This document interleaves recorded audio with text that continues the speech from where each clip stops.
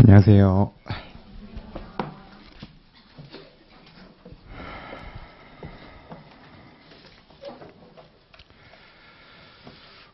오딧 리뷰 수업인데요. 음, 이걸 어떻게 할까 고민을 많이 했습니다. 일단은 어, 오디 리뷰 수업 때는 문제풀이 위주로 할 거예요.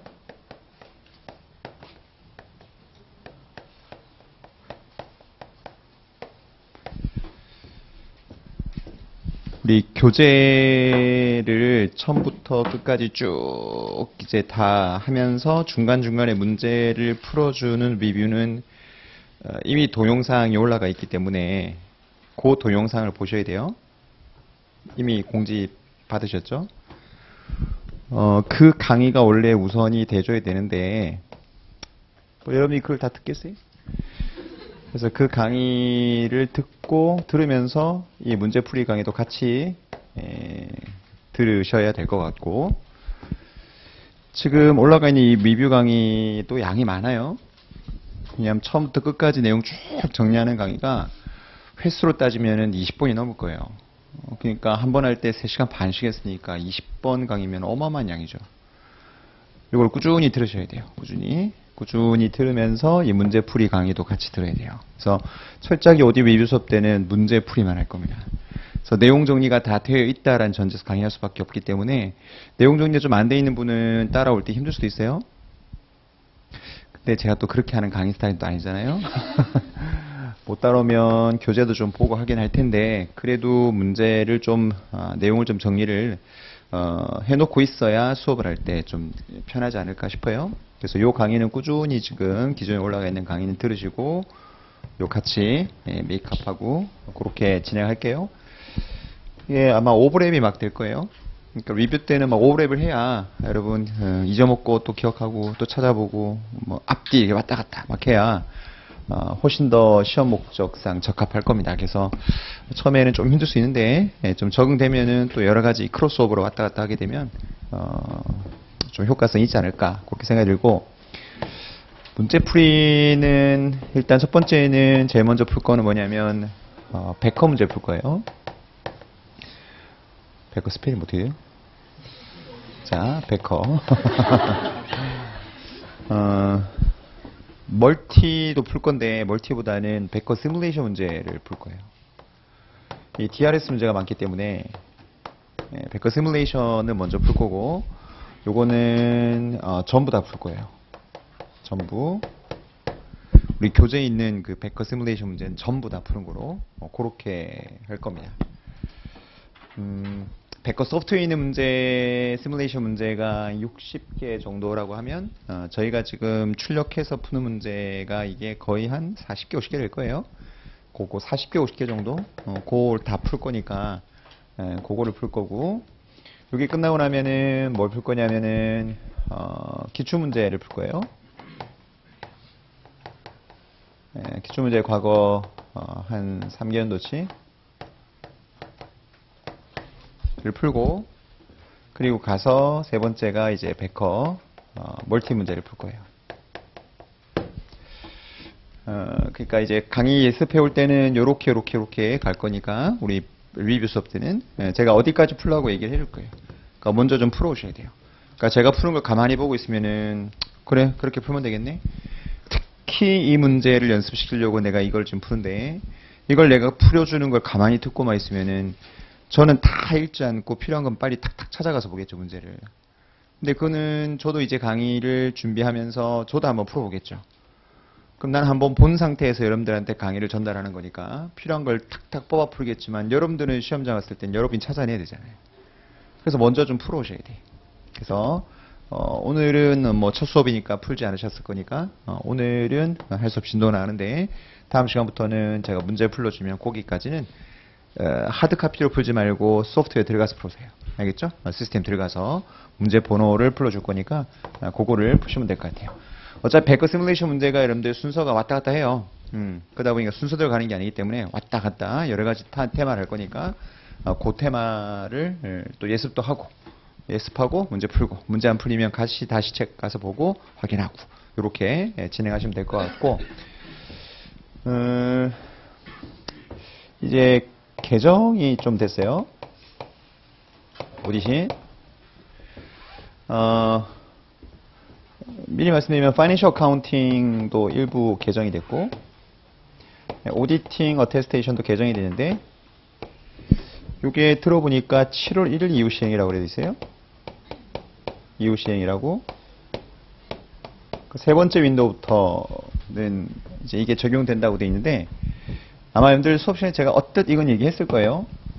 리포트는 이미 개정된 거로 제가 강의를 했고 그게 그 뭐 그거는 개정된 이미 알고 있을 거고 그 강의하면서 제가 어뜻 어 요런 게 이제 도입이 되는데 예, 요게 아직 베커나 기존의 시중에 있는 SCP 수험 교재에서 들어가 있지 않아서 제가 요번 12판을 13판을 책을 낼 때 안 넣었어요. 어 근데 개정된 게 있다. 조만간 나올 거다 했던 게 이제 베커가 아, 알았나 봐요. 그래서 어, 개정이 된다. 아, 라고 요번에 announce 했고 며칠 전에 그래서 아마 Becker도 책을 아직 미처 못 냈어요 어 그래서 Becker도 지금 아마 지금 빨리 저희한테 주기로 했는데 아마 4월 말 아니면 5월 달쯤에 책이 나온다고 그래요. 어 근데 아 책은 6월 달쯤 나온대. 어 그런데 그 개정되는 부분의 버전만 우리한테 미디 파일을 보내주기로 했어요. 음 그래서 아마 5월 달쯤 리뷰 중에 요 개정된 거는 제가 말씀을 드릴 건데 예, audit report에 예, 추가되는 내용이 나오는데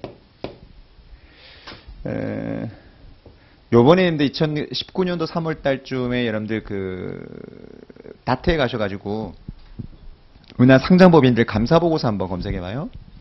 그 감사보고서 폼이 여러분들 배운 거 뭐랑 똑같냐면은 미국의 PCAOB standard랑 보고서가 똑같아요. opinion 먼저 나오죠. 그리고 오피니언의 베이시스 나오죠. 그리고 개영진 책임, 감사인 책임이 나와요. 우리가 알고 있는 그 사스의 감사보고서 폼이 달랐잖아요. 근데 국제감사 기준이 그렇게 바뀌면서 배경섬유했지만은 PCAOB가 그걸 받았어요. 그러면서 뭘 한번 확인해 보면 좋겠냐면 거기에 뭐가 붙냐면 삼성전자를 한번 보세요. 감사 보고서. 거기 뭐가 붙어 있냐면 핵심 감사사항이라는 문단이 붙어 있을 거예요. 핵심 감사사항. 그게 이제 국제 기준은 뭐라고 하냐면 이거를 KAM이라고 그래요. KAM. key audit matters라고 그래요. KAM이라고. 어, 근데 미국은 같이 가기 싫었나 봐. 아, 그래서 똑같이 CAM이라고 얘들은 이렇게 써요. 대신에 앞자가 뭐냐면 critical audit matters. 핵심 감사사항인데 핵심이라는 단어를 유럽 애들은 key라고 썼고 얘들은 critical 썼어요. 요게 붙어 있을 거야. 그러니까 미국도 이제 여기 붙는다는 거죠. 어, 핵심 감사항이라는 게 그럼 도대체 이게 뭐냐? 이걸 알아야 될 거 아니겠어요, 이게. 예, 이게 이제 새로 들어가는 거죠. 어, 내용이 좀 복잡해요. 캠이. 그러니까 신문의 회계사들도 지금 되게 고민이에요. 이게 어디까지 써야 되나 싶은데, 보시면 알지만 감사보고서에 별 얘기가 다 나온다고. 한번 나중에 검색해봐요. 아, 감사보고서 이런 내용도 쓰는구나. 무슨 내용 쓰는 거냐면, 우리 지배기구와의 커뮤니케이션 하는 내용 있죠. 아, 지배기구랑 뭔가 커뮤니케이션 내용 중에서 이거는 정보 이용자들한테 반드시 이건 얘기해야 되겠다. 라고 CPA가 판단하는 유의적 사항들을 거기다 써주는 거예요. 우리 과거 배웠지만 지배기구와의 커뮤니케이션을 외부에 공개하지 않는다고 배웠잖아요. 내부 통제 취약점이라든지 뭔가 서로 간에 커뮤니케이션 하는 것은 외부에 공개 안 한다고 그랬다고. 이젠 공개하는 거예요. 너네끼리만 수다거리지 말고 정보 이용자들한테 알려주라는 거예요. 중요한 사안에서. 다는 아니고. 그럼 지배기구와의 커뮤니케이션 해야 되는 내용이 이만큼 범위라면 거기에 이제 뭐가 들어가는 거죠? 이제 거기서 캠이 나오는 거야. 그럼 CPA가 어떤 것을 캠으로 정할 거냐에 대한 내용이 되게 복잡하다, 감사 기준이. 그러니까 리포트만 여러분들 뭐 알아되는 게 아니고 그걸 선정하는 프로세스. 어떤 걸 캠으로 보느냐. 아, 뭐 그런 어떤 프로세스들이 좀 복잡해요. 그러니까 저희 나라도 작년에 도입된 거기 때문에 아는 회계사 별로 없죠, 실제는. 그래서 이거는 여러분들 어, 어쨌든 업데이트 좀 해야 될 것 같아요. 그래서 어, 아마 5월 달쯤에 나오면 제가 그 책을 가지고 추록을 만들어서 요거는 리뷰 때 번을 할게요. 그러면 뭐 7월 달 시험 치는 데는 전혀 무리가 없을 테니까. 그리고 아마 수업 중에 아마 이 페- 에, 페레도 시험 치러 가시는 분이 계시는 거로 주로 예, 제가 많이 알고 있는데 요것도 바뀐 거, 아, 음, 아, 이거 끝이 아니구나. 정신이 없어가지고. 어, 그 다음에 요 SARS 기준이 조금 바뀌어요. 음, SARS 기준이 바, 바뀌는데, 바뀌는 게 아니고 조금 뭐가 들어가요.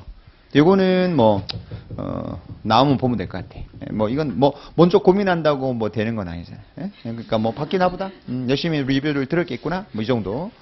그래서 SARS 기준이 조금 업데이트되는 게 있으니까 아, 혹시 시험을 이제 요번에 처음 가는 분이 아니고 어, 두 번째 가시는 분들도 이런 게 바뀌는구나 라는 것 좀 알고 갔으면 좋겠고 뭐두개 정도가 지금 음, 논의가 되는 것 같고 이 financial accounting 쪽은 어 제가 이게 좀 이상했어요. 어 뭐가 이상했냐면 근데 수익 인식 기준이 IFRS 9이 예, 아 9이래. 15이죠. 9은 금융상품입니다. IFRS 15이 여러분들 그 개정되면 수익인식 5단계가 여러분들 바뀌었잖아요. 그 5단계가 바뀐 것이 Becker 책이 반영이 됐었어요. 그래서 저희 부교재도 반영해서 여러분들 제가 수업 시간에 강의를 했었는데 그 특별하게 백커가 말이 없고 미국 원서도 말이 없길래 예, 그냥 제가 강의를 했어요.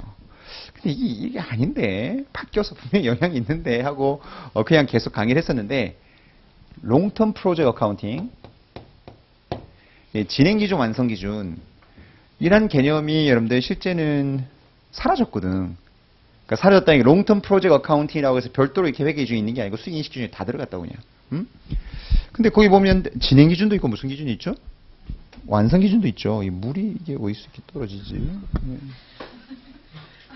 비가 새나? 이 long-term project accounting이라는 게 수익 인식으로 다 같이 들어가 버렸어요. 건설형 공사 계약이라고 하는데 우리나라도 건설형 공사 계약이 기준서가 별도로 있었다가 IFRS 9, 아, 15이 도입되면서 다 들어갔다고. 근데 미국 원서는 다 별도로 있는 거예요. 그럼 이상하다. 없어졌는데 예, 얘들도 알았나 봐. 그랬더니 롱텀 프로젝트 어카운팅을 거기 넣어가지고 이제 회계 처리하는 거에 대한 걸 얘기하는데 요거는 요것만 바뀐 거를 조금 업데이트를 제가 해드릴 거예요.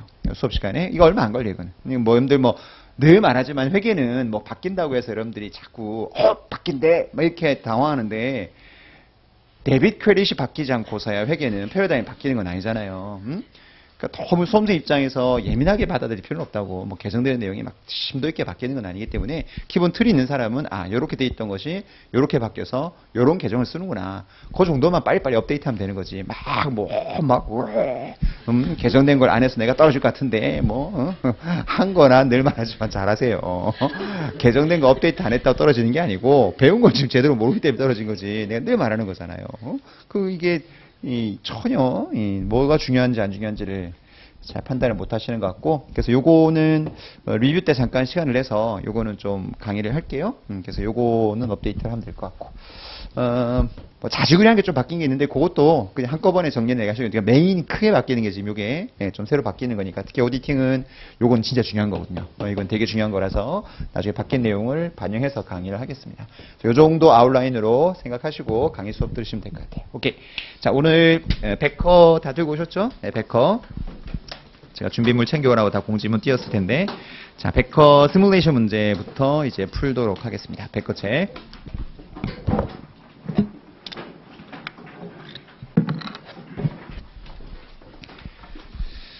제가 정규 강의 때도 시뮬레이션 문제는 많이 풀어주는 편이긴 해요. 시뮬레이션 문제를. 근데 빠진 것도 있고, 이제 빠진 것까지 포함해서 특히 DRS 문제 같은 경우는 시간이 많이 걸리기 때문에 제가 좀 뒤로 밀었었는데, 이제 DRS 문제까지 해서 같이 좀 풀도록 그렇게 진행을 할게요.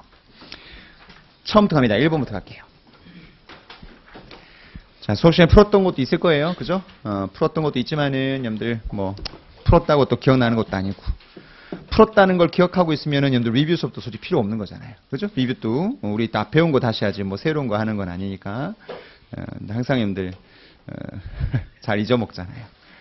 됐죠? 어, 1-1번부터 어, 들어가도록 하겠습니다. 자, 시뮬레이션 문제 볼게요. 어, LCP가 비상자 회사 FS를 감사한다라고 되어 있습니다. long-term investment accounting을 감사한다고 돼 있어요.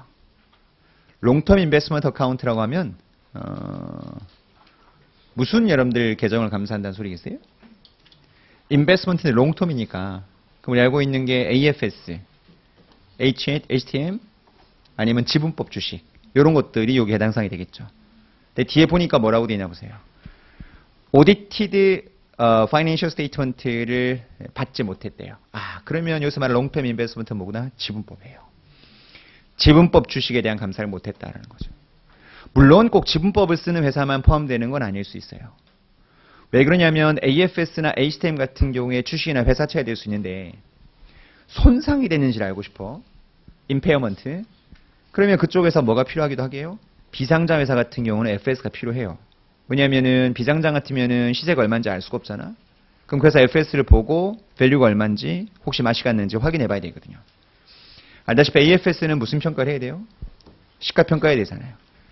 HTM은 시가 평가 안 하지만은 impairment가 됐다 판단하면 impair loss 인식해야 되거든요. 그럼 그쪽에서 FS가 필요하다고. 그럼 감사받은 FS 달라고 해서 어떤 상황인지를 CPA가 봐줘야 됩니다. 그래서 여러분들 피투자 회사 FS를 어, 우리가 필요로 하는 거죠. 네, 봤던 요거는 아마도 어, 해외 자회사, 해외 투자 회사니까 지분법 쓰는 회사라고 생각이 들고 있습니다. 그래서 지분법 쓰는 회사의 경우에 우리 감사할 때는 뭘 반드시 필요하다? 피투자 회사의 audited FS가 필요하다. 고 다시 우리 감사 측면에서 꼭 기억하고 그걸 받아가지고 확인해야 되는데 그걸 받지 못했다는 거죠. 그래서 뭐를 확보하지 못했다는 거예요? 네, sufficient하고 appropriate evidence를 수집하지 못했다라고 이제 CPA가 판단한 거죠. 상황 파악됐고 그 밑에 2번, 3번, 4번 님들 그 세 가지 situation opinion type은 어떻게 나갈 것이며 intro paragraph는 어떻게 할 것이며 감사인 책임 문단은 어떻게 할 것이고 opinion paragraph는 어떻게 할 것이며 basis는 어떻게 하는 게 맞을 거냐라고 물어봤습니다. 상장과 비상장을 나누어서 여러분들 판단할 수 있어야 되겠죠? 자, 지금부터 여러분 이 문제는 비상장 높습니다. 그런 다음 밑에다 상장도 바꿔서 풀 거예요, 지금부터. 리뷰니까 다 왔다 갔다 할 거예요. 알겠죠? 상장도 풀 겁니다. 비상장일 때와 상장 나누어서 어떻게 보고서 바뀌는지 같이 한번 정리해 보도록 하죠. 처음이니까 여러분들 기억 안 나면 다시 책 가서 내용도 확인하고 그렇게 할게요. 자, 갑니다. 첫 번째. financial statement에 미치는 여러분들 impact이 potential effect가 뭐라고 돼 있다? immaterial 하다고 돼 있습니다. 지금 상황이 뭐가 발생한 거죠? scope limitation 상황이 발생한 거죠. scope limitation 상황이 발생하면 우리 배웠다시피 immaterial 했을 경우에는 unmodified. material 했을 경우에는 qualified. 그 다음에 material 하면서 pervasive 할 때는 뭐죠? 예, disclaimer가 나가는 거죠. immaterial 하다고 돼 있습니다. 그럼 opinion type은 당연히 뭐가 되겠죠? unmodified opinion 나가면 되겠죠. 그래서 밑에 보시면 unmodified라고 하는 예, 보기가 있을 거고요. unmodified opinion 나가는 케이스니까 여러분들 뭐가 바뀔 필요는 없죠? intro paragraph 바뀔 필요 없고 auditor responsibility, opinion paragraph 다 바뀔 필요가 없고요. no change. 그 다음에 basis가 언급될 필요가 있냐? 상장과 비상장이 다르죠? 상장은 적정 나가도 뭐가 붙어요? basis가 붙는다는 게 우리 개정사항에서 중요한 거였죠. 그런데 비상장은 basis는 언제부터요? 의견이 바뀔 때만 붙습니다. 따라서 basis는 붙지 않습니다. 그래서 non-required가 되는 거죠. 혹시 붙는다면 어디 뒤에 어디 opinion paragraph 앞에 붙어요? 뒤에 붙어요? 막 뒤 앞 헷갈리죠? 막, 막그 중간에 끼어들어가 막 어? 이게 헷갈려요. 무지 헷갈려요. 이게 basis 어떻게 해요? opinion 앞에 붙죠. basis 언급해 주고 그 다음에 의견이 나갔잖아. 근데 상장은 어때? opinion이 먼저 나오고 basis가 아래 붙었다고 이게. 그죠? 순서 모르면 무지 헷갈립니다 이게. 정리 잘 하셔야 돼요. 비상장은 여러분들 basis가 붙는다면 opinion 앞쪽에 붙어요. 어쨌든 이 라인은 붙을 필요가 없으니까 non required고요. 붙으면은 opinion 앞쪽에 붙어야 돼요. 상장은 좀 이따 다시 할게요. 비상장이라고 했으니까. 3번 문제. potential effect가 moderate라고 되어 있습니다. 백화가 쓴 표현이지 실제 시험자면 이런 표현 쓰면 안 돼요. 정확한 감사 기준 표현 써야 됩니다. material 하다고 나올 거예요. 분명히. 그 다음에 high 같은 경우는 material and 뭐라고 나와야 되고요. pervasive라고 분명히 감사 용어로 나와야지 moderate 그 다음에 high 이런 표현을 쓰면 안 돼요. 근데 문제의 뉘앙스상에 판단할 수도 있겠죠. immaterial이 거기 2번에 있으니까 아 3번은 material 한 케이스, 4번은 material pervasive 케이스구나라고 감은 잡아, 잡고 들어가시면 되죠. 그러면 3번 라인은 어, opinion 타입은 뭐가 되겠죠? qualified opinion 나가면 되겠죠. 갑니다. 머릿속에. 자, scope limitation일 때 qualified 의견 나가는 케이스. 답만 달지 말고 어디가 바뀌는지부터 차근차근 다 엎어 나갑니다. 자, intro paragraph는 바뀌나요? 안 바뀌죠. 유일하게 여러분들 일반적인 standard 리포트에서 intro가 바뀌는 케이스는 무슨 케이스밖에 없죠? disclaimer 케이스밖에 없어요. disclaimer 케이스가 we were engaged audit이라고 바뀌는 그 paragraph 딱 바뀌는 거 빼놓고는 intro가 바뀌는 케이스는 전무합니다. 그래서 intro paragraph는 qualified 케이스는 바뀌지 않습니다. 그 다음 거기 나와 있지 않지만 살짝 여러분들 칼럼 하나 더 집어넣을게요. management responsibility도 집어넣으세요. management responsibility도 거기 집어넣습니다. 물어보지 않아도 다 집어넣을 거예요. 자, management responsibility paragraph는 여러분들 바뀌나 안 바뀌나요? 바뀌어요, 안 바뀌어요? 안 바뀌죠. management responsibility가 바뀌는 여러분들 그 상황은 standard 상황에서는 있어요, 없어요? 단 한 경우도 없어요. Management Responsibility는 unmodified, qualified, disclaimer, adverse 그 어떤 경우도 management 책임은 바뀌지 않습니다. 알겠어요? management 책임이 바뀐다라고 여러분들이 봤던 리포트는 standard 상황에서는 단 하나도 없고요. 다만 other situation이나 other situation 그 경우도 거의 없다고. 어, special 우리 consideration 할때 보고서 몇 개 있죠? 네 개 있죠. 이런 분위기 안 돼. 첫 번째가 Special Purpose Reporting Framework이 있고, 맞죠? 그 다음 두 번째가 piecemeal case가 있죠? 그 다음 세 번째가 뭐가 있어요? Country Agreement에 대한 Compliance까지 의견 주는 보고서가 있었고, 네 번째가 Summary FS를 의견 주는 케이스. 고기는 보면 여러분들 매니지먼트 책임 문단이 많이 바뀌어요. 왜냐하면 일단은 여러분들 그 Special Purpose Reporting Framework에 따라서 우리 보고서 찍어주는 케이스는 FS 명칭이 바뀌거든. 그럼 그거에 대한 책임을 언급할 때 내용이 바뀌기 시작해요. 특히 또 summary FS에 대한 여러분들 리포트 보셔도 management 책임 문단이 되게 많이 바뀌어요. 그러니까 special consideration으로 찍어주는 보고서는 경영자 책임 문단이 많이 바뀌어요. 근데 이런 알고 있는 그냥 일반적인 unmodified, qualified, adverse, disclaimer 나가는 케이스는 경영자 책임 문단이 단 하나도 바뀌지 않습니다. 너 책임에 대해서는 절대 바꾸지 않는다는 거죠. 알겠죠? 너 책임 얘기하는 건 절대 바뀌지 않아요. 그래서 management 책임 문단 아예 안 물어본 이유가 있는 거예요. 어느 경우도 바뀌지 않거든요. management 책임 문단. 그러니까 이렇게 말했을 때 기억이 안 나면 집에 가서 복습할 때 다 찾아보셔야 돼. 그러니까 하나만 끊어서 그 탑핑 물어봤을 땐 기억이 나는데 막 이렇게 거꾸로 가서 물어보게 되면 헷갈린다고 이게 나왔나? 안 나왔나? 바뀌었나? 그 테마만 딱 찍어서 배울 땐 기억이 나요 또. 근데 이렇게 횡으로 이렇게 쭉 물어보게 되면 기억이 안 날 때가 있다고. 종으로 물어보는 건 기억이 나는데 머리가 나는 게 이렇거든요. 그러니까 vertical로 딱 알다가 이렇게 어, horizontal로 딱 하게 되면은 이게 어 그랬나 저랬나 헷갈리기 시작한다고 이게 그래서 다양하게 생각을 해놔야 기억할 때 도움이 되는 거기 때문에 그 내용을 읊어주는 거니까 아시고 기억하셔야 돼요 다시 management 책임 문단은 바뀌지 않습니다 그 다음 auditor의 책임 문단은 바뀌나요? 안 바뀌나요? 일단 auditor의 책임 문단이 몇 개 paragraph로 구성이 되어 있었죠? 세 개의 paragraph로 구성이 되어 있었어요. 첫 번째 paragraph 바뀌나요? 안 바뀝니다. second paragraph 바뀌나요? 바뀌죠 아, 미안, 미안, 안 바뀌죠. 세 번째 paragraph에 뭐가 나오죠? We believe 해놓고 뭐라고 돼 있습니까? 우리가 의견 어, 무슨 의견 준다고 돼 있죠? qualified opinion을 주는 데 있어서 우린 충분하고 적합한 감사 증거를 어, 입수했다고 믿습니다 라고 돼 있었죠. 그때 의견의 종류가 살짝 들어가면서 modification이 되죠. 그래서 감사인 책임 문단은 modify가 됩니다. 그 다음에 opinion paragraph는 당연히 modify가 돼 있죠. 그 다음 basis 붙을 거고요. 자, 뭐부터 붙어야 돼요? basis 붙어요. 그럼 basis가 붙는데 opinion 앞쪽에 붙었죠. 붙으면서 뭐라 나왔나요? 뭐가 나온다는 것도 아셔야 되죠. basis에. 뭐가 나와야 돼요? 일단 어떤 scope limitation이 있었다는 것을 자세히 써줘야 돼요. 그럼 요 케이스 같은 뭐를 못했다는 말을 써야 되겠어요. 피투자 회사에 감사받은 FS를 받았어야 되는데 받지 못했다. 이 내용을 써줘야 돼요. 그게 금액적으로 얼마인지도 써줘야 돼. 금액적인 얼마를 썼다는 게 그게 monetary effect를 써준다는 의미가 아니고 departure from GAAP일 때 제가 monetary effect가 나옵니다 말했던 건 뭐냐면 이게 제대로 회계 처리됐었더라면 얼마가 맞습니다라는 내용이 나온다는 소리예요. departure from GAAP은 왜? 감사를 다 했기 때문에 회계사가 얼마가 맞는지 알고 있는데 안 고치겠다고 하는 거니까. 근데 scope limitation은 여러분들 거기서 금액이 나오긴 나와. 다만 나오는 게 그냥 이만큼 해당되는 금액을 못 봤다로 끝인 거지. 그게 맞으면 얼마일 거다 말은 할 수가 없다고. 왜? 증거를 못 입수했으니까 자기도 모르죠 맞는 금액이. 그래서 기본적으로 basis paragraph에는 어떤 scope limitation이 있었다는 거에 대한 뭐가 나온다고요? description이 나오고 그 다음에 이게 맞으면 얼마가 될 거다고 하는 금액적인 effect는 가능하면 거기다 써주라고 돼 있지만 가능한 케이스는 실무적으로 거의 없을 거라고 그랬어요. 단 뭐는 나올 수 있다? 얼마를 못 봤다라고 하는 금액은 나올 수 있다는 거죠. 알겠죠? 그렇게 이해하시면 되고 그 다음에 오피니언 패러그래프는 당연히 modifi가 되겠죠. 어떻게 modify 되나요? Accept라고 시작하죠. accept. accept라고 시작하면서 뭐에 대한 reference가 들어가죠? basis paragraph를 reference 하죠. base for opinion paragraphs 언급하고 있는 잘 보세요. 언급하고 있는 사실을 빼고는 이렇게 하면 안 돼. 거기에 언급되고 있는 사실 때문에 그 해당 계정 과목이 얼마가 맞는지 monetary effect를 모르겠다. 그거 빼고 financial statement는 적정하게 작성돼 있다. 이렇게 하게 돼 있죠. 그래서 우리가 except for 뒤에 나오는 표현 자체가 scope limitation 제한된 걸 except 했다. 이런 표현 쓰면 안 되고 scope이 limitation 됐기 때문에 그 해당 계정 과목의 금액적인 이펙트를 모르니까 금액적인 이펙트를 제외하고 나머지 financial state 항목은 적정하게 작성되었다. 이렇게 표현하게 돼 있다고 그랬죠. 그래서 말장난이었지만 어떤 문제 있었냐면 우리가 qualified 의견 주는 이유는 scope limitation itself 그것 때문에 qualified 하는 것이 아니고 감사를 못했기 때문에 그 회사 FS의 금액적인 이펙트가 얼마인지 모르기 때문에 우리가 qualified 하는 것이다. 라는 문장이 있었어요. 이 맹꽁이들 표정들 봐봐. 에이. 이제 알아서 넘기네, 이제 알아서. 그죠? 알아서 넘기네. 알아서, 그죠? 가야겠죠? 어. 그래, 가. 괜찮아. 천천히 하려고. 시간 많이 내고 확보해놨어.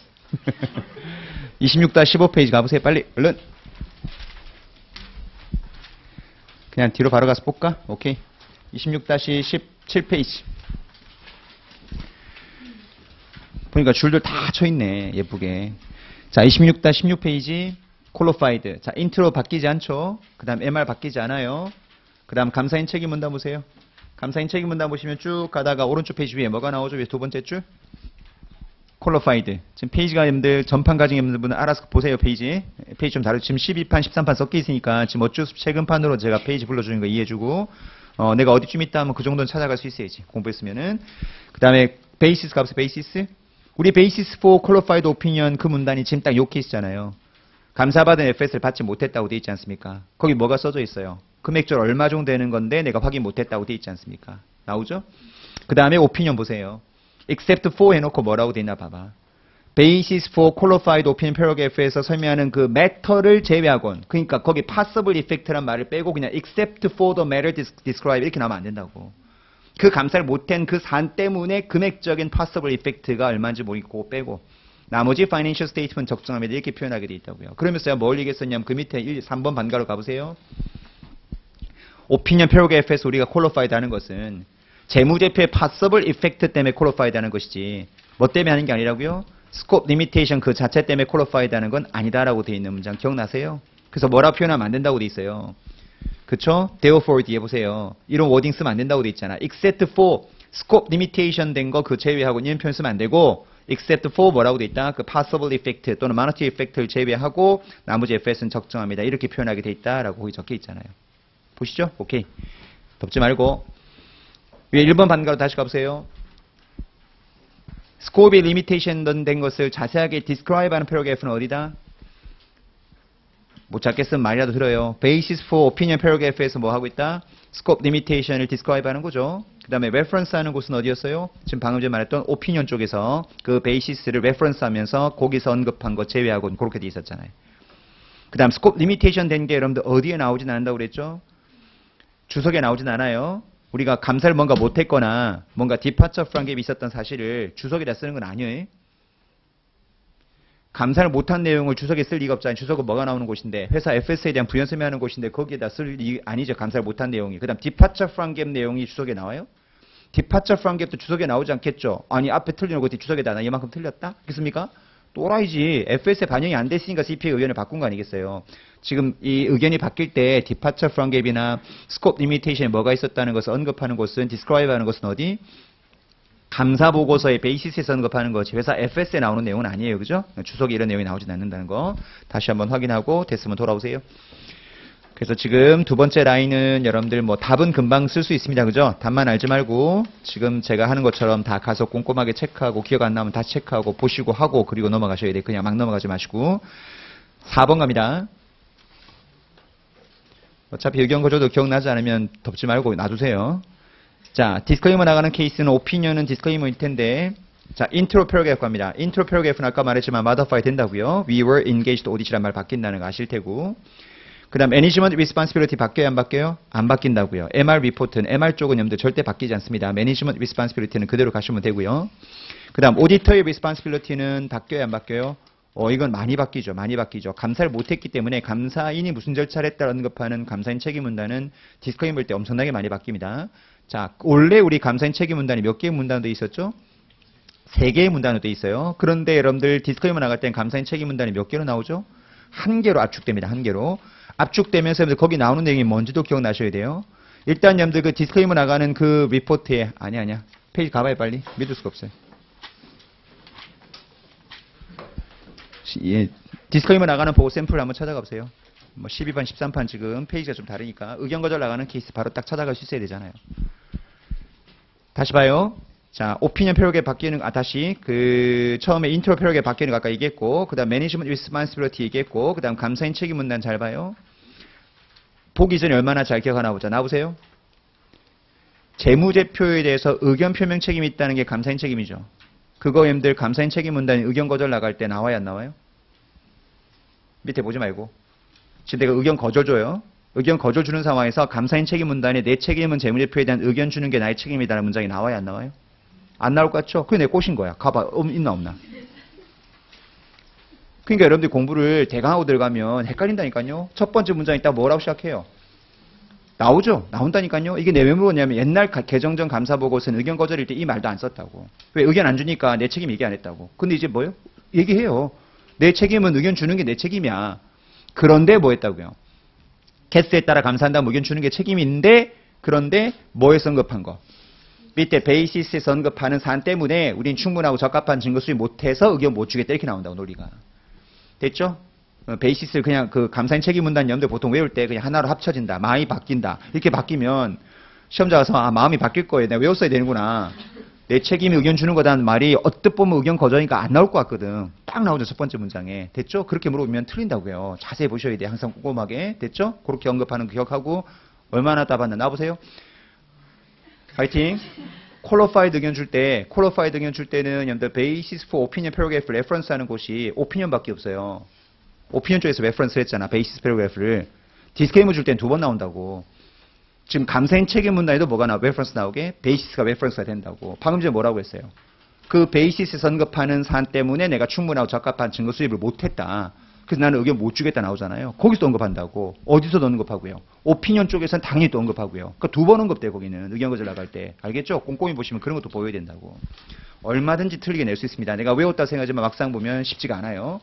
그래서 basis paragraph를 reference하는 곳은 두 곳입니다. 의견 거절 나갈 때는 오디터의 책임 문단에도 basis가 나오고요. 그 다음 오른쪽 opinion 쪽도 뭐가 나온다고요? basis paragraph가 reference 된다는 것을 같이 기억하시라고요. 이 백커인의 문제만 푸는 건 어렵지 않다고요. 알겠죠? 같이 보고 또 깊게 보셔야 된다고. 정리됐죠? 오케이. 덮지 마세요. 또 언제 또 갈지 모르잖아. 자, 그 다음 감사인 책임 문단 하나로 바뀐다로 끝내지 말자는 거야. 알겠죠? 뭐 나오고요? 재무제표 의견 표명 책임 나한테 있단 말 나옵니다. 알겠죠? basis reference 되는 것도 맞아요. 그 두 개 기억하고. opinion paragraph는 당연히 바뀌겠죠. 뭐라고 시작하면서 바뀝니까? Because라고 시작하죠. because. 어디서 언급한 사안 때문에. basis에서 언급한 사안 때문에 우린 충분한 적합한 수집 못해서 의견 못 주겠다라고 돼 있었던 문장이 나오는 거 당연히 modify가 될 거고요. basis 당연히 붙어줘야 되고요. 어디 앞에 붙어야 되고요. opinion 앞쪽에 붙어야 되고요. 맞죠? 그 다음에 붙을 때 들어가는 내용은 뭐랑 똑같아요? qualified랑 똑같아요. 어떤 scope limitation 됐다는 거 자세히 써주면 되고 그죠? 그게 금액적으로 얼마다라는 거 정도는 써줄 수 있겠죠. 그 정도가 힘들 그 문제 답이 될 겁니다. 자 상장으로 바꿉니다. 상장 바꿔요. 밑에 살짝 비교 상장이라고 써놓고 답이 어떻게 바뀌나 달아보죠. 어, 상장 같은 경우에는 상장 같은 경우도 뭐 어, 상장 같으면 여러분들 무슨 paragraph란 말이 일단 없어요. intro paragraph란 말이 없지. 왜 opinion paragraph가 나오고 그다음 basis가 나오고 그다음에 경영진 책임 문단이 나오고 그다음 감사인 책임 문단이 나오는 그런 구조로 되어 있기 때문에 기본적으로 intro paragraph란 말 자체가 나오진 않습니다. intro paragraph란 말은 여러분들 어, 따로 언급하지 말고요. 그 나머지만 가지고 여러분들 지금 판단해 보도록 하죠. 정확하게 말하면 뭐 감사인 책임 문단하고 뭐 경영진 책임 문단 이렇게 나눠져 있지도 실제는 않아요. 어? 뭐 opinion paragraph가 있고 그다음 basis paragraph가 있고 그렇게 보통 돼 있죠. 그다음 그 밑에 뭐 그다음에 쭉 내용이 나오는 형태로 돼 있는데 뭐 paragraph 명칭 자체가 조금 구분하기가 쉽지 않은 것 같긴 한데 일단 상장은 어떻게 바뀌는 연습만 한번 해봅시다. 대강 어떻게 바뀌는지 알고 계셔야 되니까. 일단 opinion paragraph는 여러분들 몇 개의 paragraph로 구성이 되죠? 아직 상장 개정된 거 안 외웠구나. 여러분 기억하셔야 돼. 무슨 배짱으로 안 외우고 있는 거야? 상장, 비상장 다 기억해야지. 개정된 건데 개정된 걸 그렇게 민감하게 반응하면서 개정된 거 듣고 안 외우면 뭐하러 개정된 걸 자꾸 달라고. 아, 달라고 한 건 아니죠. 어쨌든.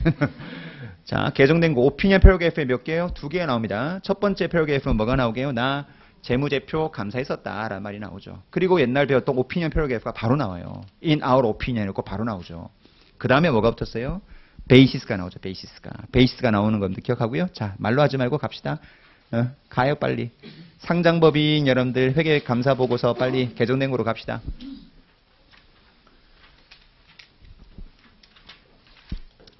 다시 한번 봅시다. 어, 처음 보는 거니까 낯설죠. 어. 저희도 이 보고서를 올해 28년도 처음 이제 감사를 해서 하도 입을 많이 했어요. 거의 다 기억이 나네 저는요. 자 일단 여러분들 opinion paragraph 몇 개 나온다고요? 두 개 paragraph예요. 보세요 뭐가 나오나? 나는 너네 회사 FS 감사했다 나오죠? 그럼 뭐가 바로 나온다고요? 의견을 먼저 때리고 시작하는 거예요. 의견 때릴 때 여러분들 문장은 우리 기존 알고 있는 opinion이랑 내용이 똑같아요. 그리고 적정이 나가도 뭘 밝힌다고요? basis를 언급한다고요. basis 언급하면서 여러분들 누구 책임 먼저 얘기해요? 경영진 책임 얘기하죠. FS 책- 책임은 경영진 책임이라고. 그 다음에 내 책임은 뭐 표명하는 거라고요? 의견 표명 책임한다고 나오죠. 그리고 무슨 말이 나오나요 상장법이니까 나 PCAOB에 등록되어 있는 어, 공식적인 accounting firm이다라 말 나오죠. 보시면 되고 그그 다음에 뭐가 만족되고 있다는 말도 여러분들 써주게 돼 있죠. 독립성이 만족되고 있다라는 말도 써주게 돼 있습니다. 단 독립성이 만족될 때 무슨 무슨 규정에 따라 독립성이 만족되었다고 써주나요? PCAOB standard 규정에 따라서 독립성이 만족되고 그 다음에 SEC 규정에 따른 독립성 규정까지 동시에 만족되고 있다. 양쪽 입장의 독립성 규정을 다 따라가고 있는 사람이다라는 말을 써주게 돼 있다고요. 그 말도 기억하시고 그 다음에 뭐가 나오나요? 나 PCAOB standard 따라서 감사했단 말 나오죠? 그 다음에 합리적인 확신 중에 우리의 목적이다. 그 standard에서. 그 다음에 뭐가 나오죠? 그 다음에 CPA가 했던 절차가 쭉 나오죠. 우리의 절차는 기본적으로 뭐다? RMM을 평가하고 뭐 그거에 맞춰서 감사를 대응하고 설계하고 기타 블라블라블라 뭐 쭉 내용이 나오죠. 그러니까 전체적으로 보시면은 상장법인의 감사 보고서는 여러분들 경영진에 대한 책임 자체가 그렇게 많지가 않아요. 감사인 책임 문단이 훨씬 더 많이 나오죠. 감사인 책임에 대한 문단이 거의 다 나오고요. 경영진 책임은 FS 작성 책임 누구한테 있다? 경영진한테 있습니다라는 문장 하나 정도 빼놓고는 경영진의 책임 문단이 거의 별로 없어요. 거의 다 감사인 책임을 더 많이 쓰고 있는 여러분들 지금 그 상황이 상장법인 감사 보고서이기 때문에 뭐 인, 어, intro paragraph란 paragraph도 없고 감사인 책임 문단이라 별도의 paragraph 명칭이 있지도 않아요. 그냥 paragraph 명칭은 뭐하고 뭐밖에 없죠? opinion paragraph. 그 다음에 basis for opinion paragraph가 나오죠. 그렇게 구분되어 있는 거 밖에는 없어요. 그렇게만 이해하고요. 뭐 추가 문단이 붙을 수는 있겠죠. 추가 문단이라고 하는 게 뭐 말하는 거죠? 네, explanatory 붙는 경우 있었잖아. explanatory. explanatory paragraph 붙는 거 우리 비상장 따지면 엠퍼스나 other matter를 구분하게 돼 있지만 상장은 그렇게 하지 않고 그냥 explanatory 붙을 수 있냐 이렇게 물어볼 수 있고 그럼 그거는 이제 추가로 붙어주면 되는 거니까 그렇게 생각하시면 되고요. 오케이. 상장법인이라고 가정하고 다시 갑시다. 자, 그러면 처음에는 여러분들 immaterial이면 적정이겠죠? 그럼 적정이면은 뭐라고 표현하게 돼 있죠? 상장은 unqualified라고 아마 보기가 나올 거예요. 혹시 보기가 unmodified, unqualified 두 개 다 있으면 unqualified로 가세요. 상장법인은 unqualified라는 표현을 쓰게 돼 있습니다. 그 다음 intro paragraph라는 개념은 없으니까 넘어가고 감사인 책임 문단도 일단 넘어갈게요. 어, 그 다음에 opinion paragraph는 여러분들 당연히 modify 될 이유가 없죠. 그냥 그대로 가시면 되고 그 다음에 basis도 그냥 우리 standard 그냥 쭉 나가시면 될 것 같고 됐습니까? 오케이 그 다음 갈게요. 그 다음에 scope limitation이 중요한 케이스는 의견은 여전히 뭐가 나오고요. qualified 나가는 건 똑같을 거고 자 intro라는 개념은 없다고 보고 감사인 책임 문단에 대한 것도 별도로 언급이 없다고 보고 opinion이 이제 바뀌냐 안 바뀌냐만 얘기하면 될 건데 opinion 당연히 뭐가 되겠죠? 당연히 바뀌겠죠. 뭐라고 표현하면서 바뀌면 되는데 여기도 except for라고 바뀌면 되겠죠. 그 다음 basis에서 언급하는 사항의 효과를 제외하고 financial statement 적정하다 그 표현 방식은 동일하게 가시면 돼요. 그 다음에 basis는 당연히 들어가겠죠. 다만 basis가 붙는 여러분들 위치는 어디일 거라고요? 어, 그러니까 위에 것도 basis가 붙어요. 적정인 경우도 맞죠? 어, 상장법인 적정인 경우도 basis가 붙게 돼 있고 그 붙는 위치는 어디 뒤에 붙을 거다? opinion 뒤쪽에 붙을 거다. 그다음 당연히 뭐다? qualified 의견 나갈 때도 basis 붙을 거고 opinion 뒤에 붙을 거라고요. 됐죠? 그렇게 이해하시면 될 것 같고 그다음 세 번째 그다음 세 번째는 여러분들 disclaimer 의견 나가는 케이스인데 어, disclaimer 의견 나가는 케이스는 opinion 타입은 당연히 뭐가 될 거고요.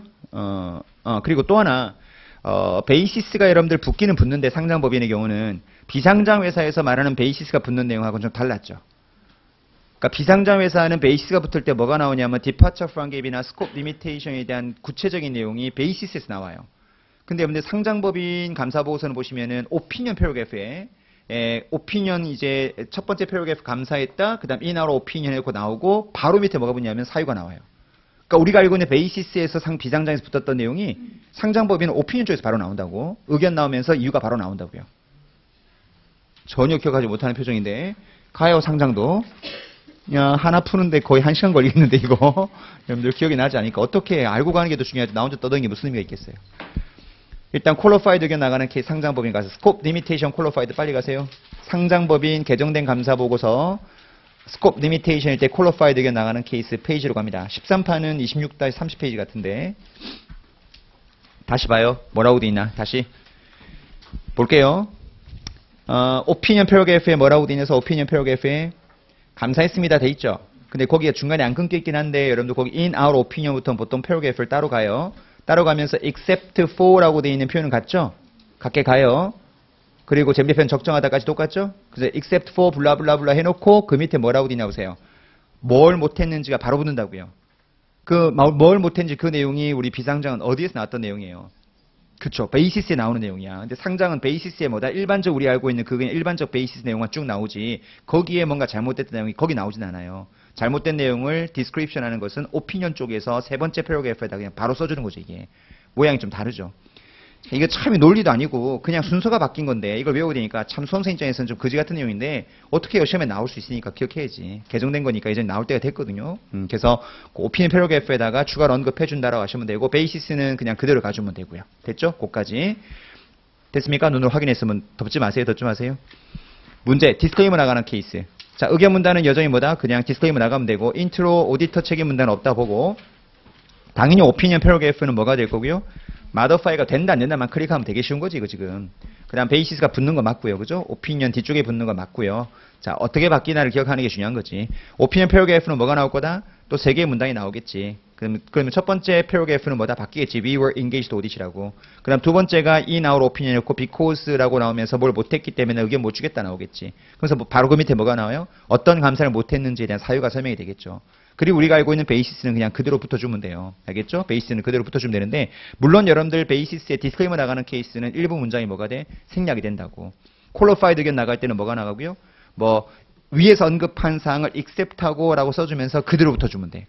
근데 disclaimer 나가는 케이스는 많이 바뀌지 문장이 많이 떨어져 나온다고. 왜 감사인 책임이 많이 나오는 게 거기 basis 나온 내용인데 많은 부분이 못했기 때문에 거기서 많이 이제 문장이 빠지는 형태로 돼 있었고 그렇게 돼 있었죠. 자, 내가 여기까지만 guidance 줄게요. 집에 가서 상장, 비상장 구분해서 보셔야 돼. 알겠죠? 상장, 비상장 구분해서 이 문제는 따로 정리를 좀 해놓으시면 좋을 것 같습니다. 이걸 해야 상장, 비상장 보고서가 아마 한꺼번에 정리가 될 겁니다. 그 문제, 상장, 비상장, 개정된 감사 보고서를 다시 한번 어, 정리하자는 의미에서 봤고요. 자, 그 다음에 그 다음 문제를 보도록 하겠습니다. 다음 문제 가죠. 자, 다음 문제 보시면은 자, 두 번째 문제입니다. 자, 로건 CP가 있습니다. 미국 감사 기준 따라간다고 돼 있어요. 자, go cars라고 돼 있네요. 오케이. 오케이. 그 다음에 뭐 어쩌고 저쩌고 돼 있는데 여러분들 뭔것 같아요?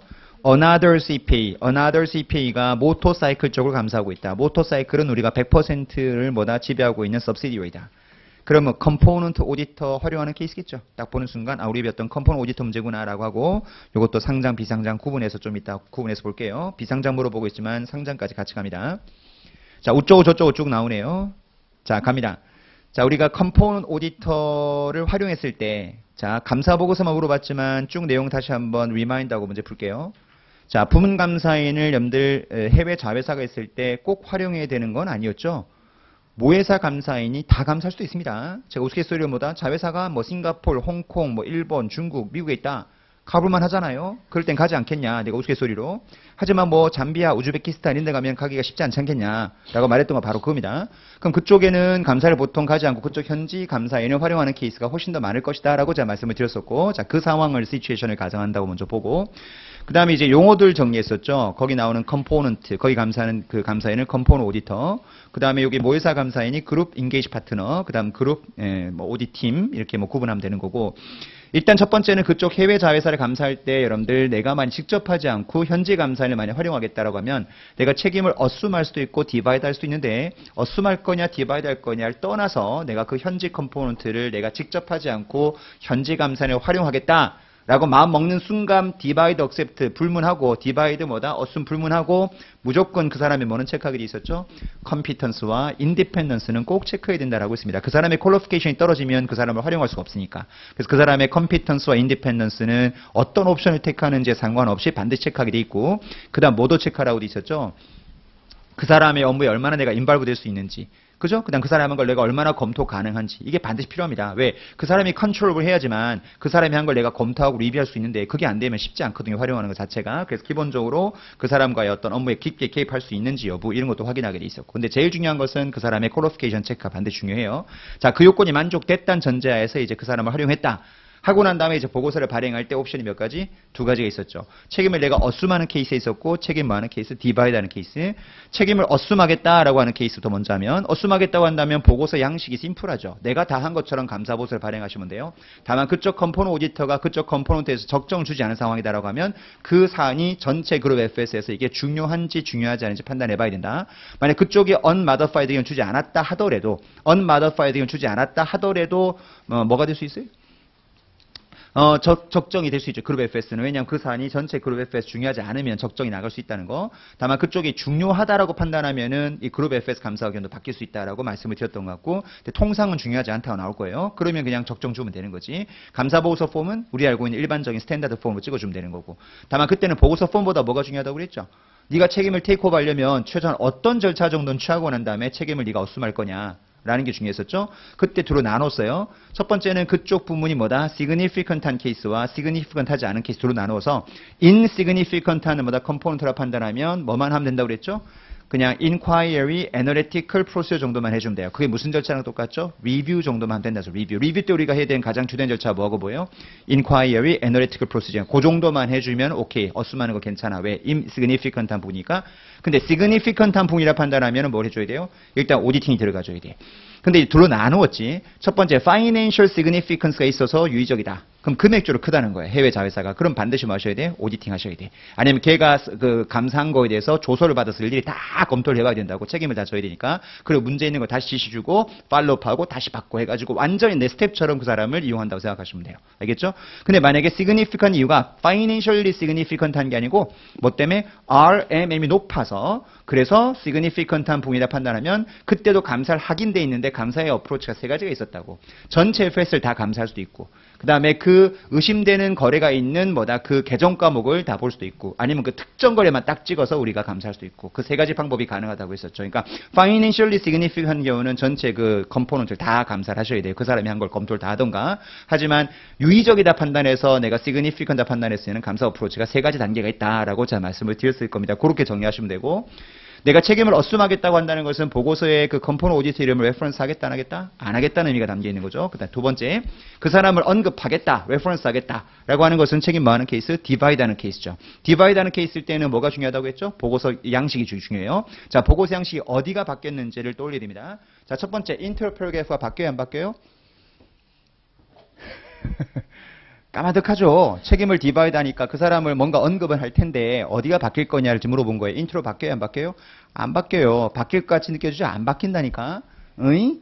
그 다음에 두 번째 뭐 나오지? management 책임 문단 바뀌어요? 안 바뀌어요? 안 바뀌어요. 누구 책임 문단이 바뀌게? 감사인 책임 문단이 바뀌기 시작하죠. 감사인 책임 문단에 세 개의 paragraph가 나오는데 첫 번째 paragraph가 바뀌었어요. 뭐라 바뀝니까? 나는 재무제표에 대해서 의견 표명하는 게 나의 책임입니다 라고만 써주게 되는데 내가 다 의견 주는 것처럼 돼버리는 거잖아요. 그러다 보니까 그렇게 문장 써주고 하면서 뭐가 나오냐면은 일부 component는 미안하지만 내가 감사하지 않았다. 근데 거기는 에, 누가 다른 사람이 감사를 했다. 그럼 그 부분과 관련해서는 걔가 주는 보고서에 근거해서 나는 의견을 줄 것이다. 이렇게 써줘야 여러분들 책임이 divide 된다는 것을 정보 이용자가 알 수가 있는 거죠. 그래서 뭐라고 했냐면 내가 일정 부분은 감사하지 않았다는 component가 나와야 되고 그다음 그 component가 전체 FS 차지하는 비중이 얼마나 된다는 것도 언급이 돼줘야 되죠. 전체 consolidated FS에서 이 정도 이 정도 포션을 차지한다라고 써줘야 되고 그게 이제 첫 번째 paragraph에서 modify가 되죠. second하고 third 바뀔 필요 없고 그다음 뭐가 나오죠? opinion paragraph 뭐가 되죠? 당연히 modify 되죠. In our opinion 해놓고 based on our auditing and 그 component auditor가 주는 리포트에 근거해서 이 회사 consolidated FS는 present fairly 됐다. 이렇게 하면서 opinion도 우리가 modify 되게 돼 있었죠. 그때 중요한 게 뭐냐면 책임 divide 할 때, 즉 보고서 reference 할 때 뭐가 붙진 않는다.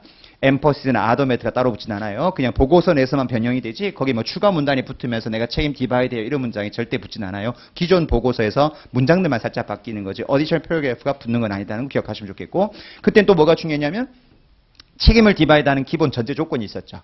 반드시 뭐가 돼야 된다는 기본 전제가 깔렸어요.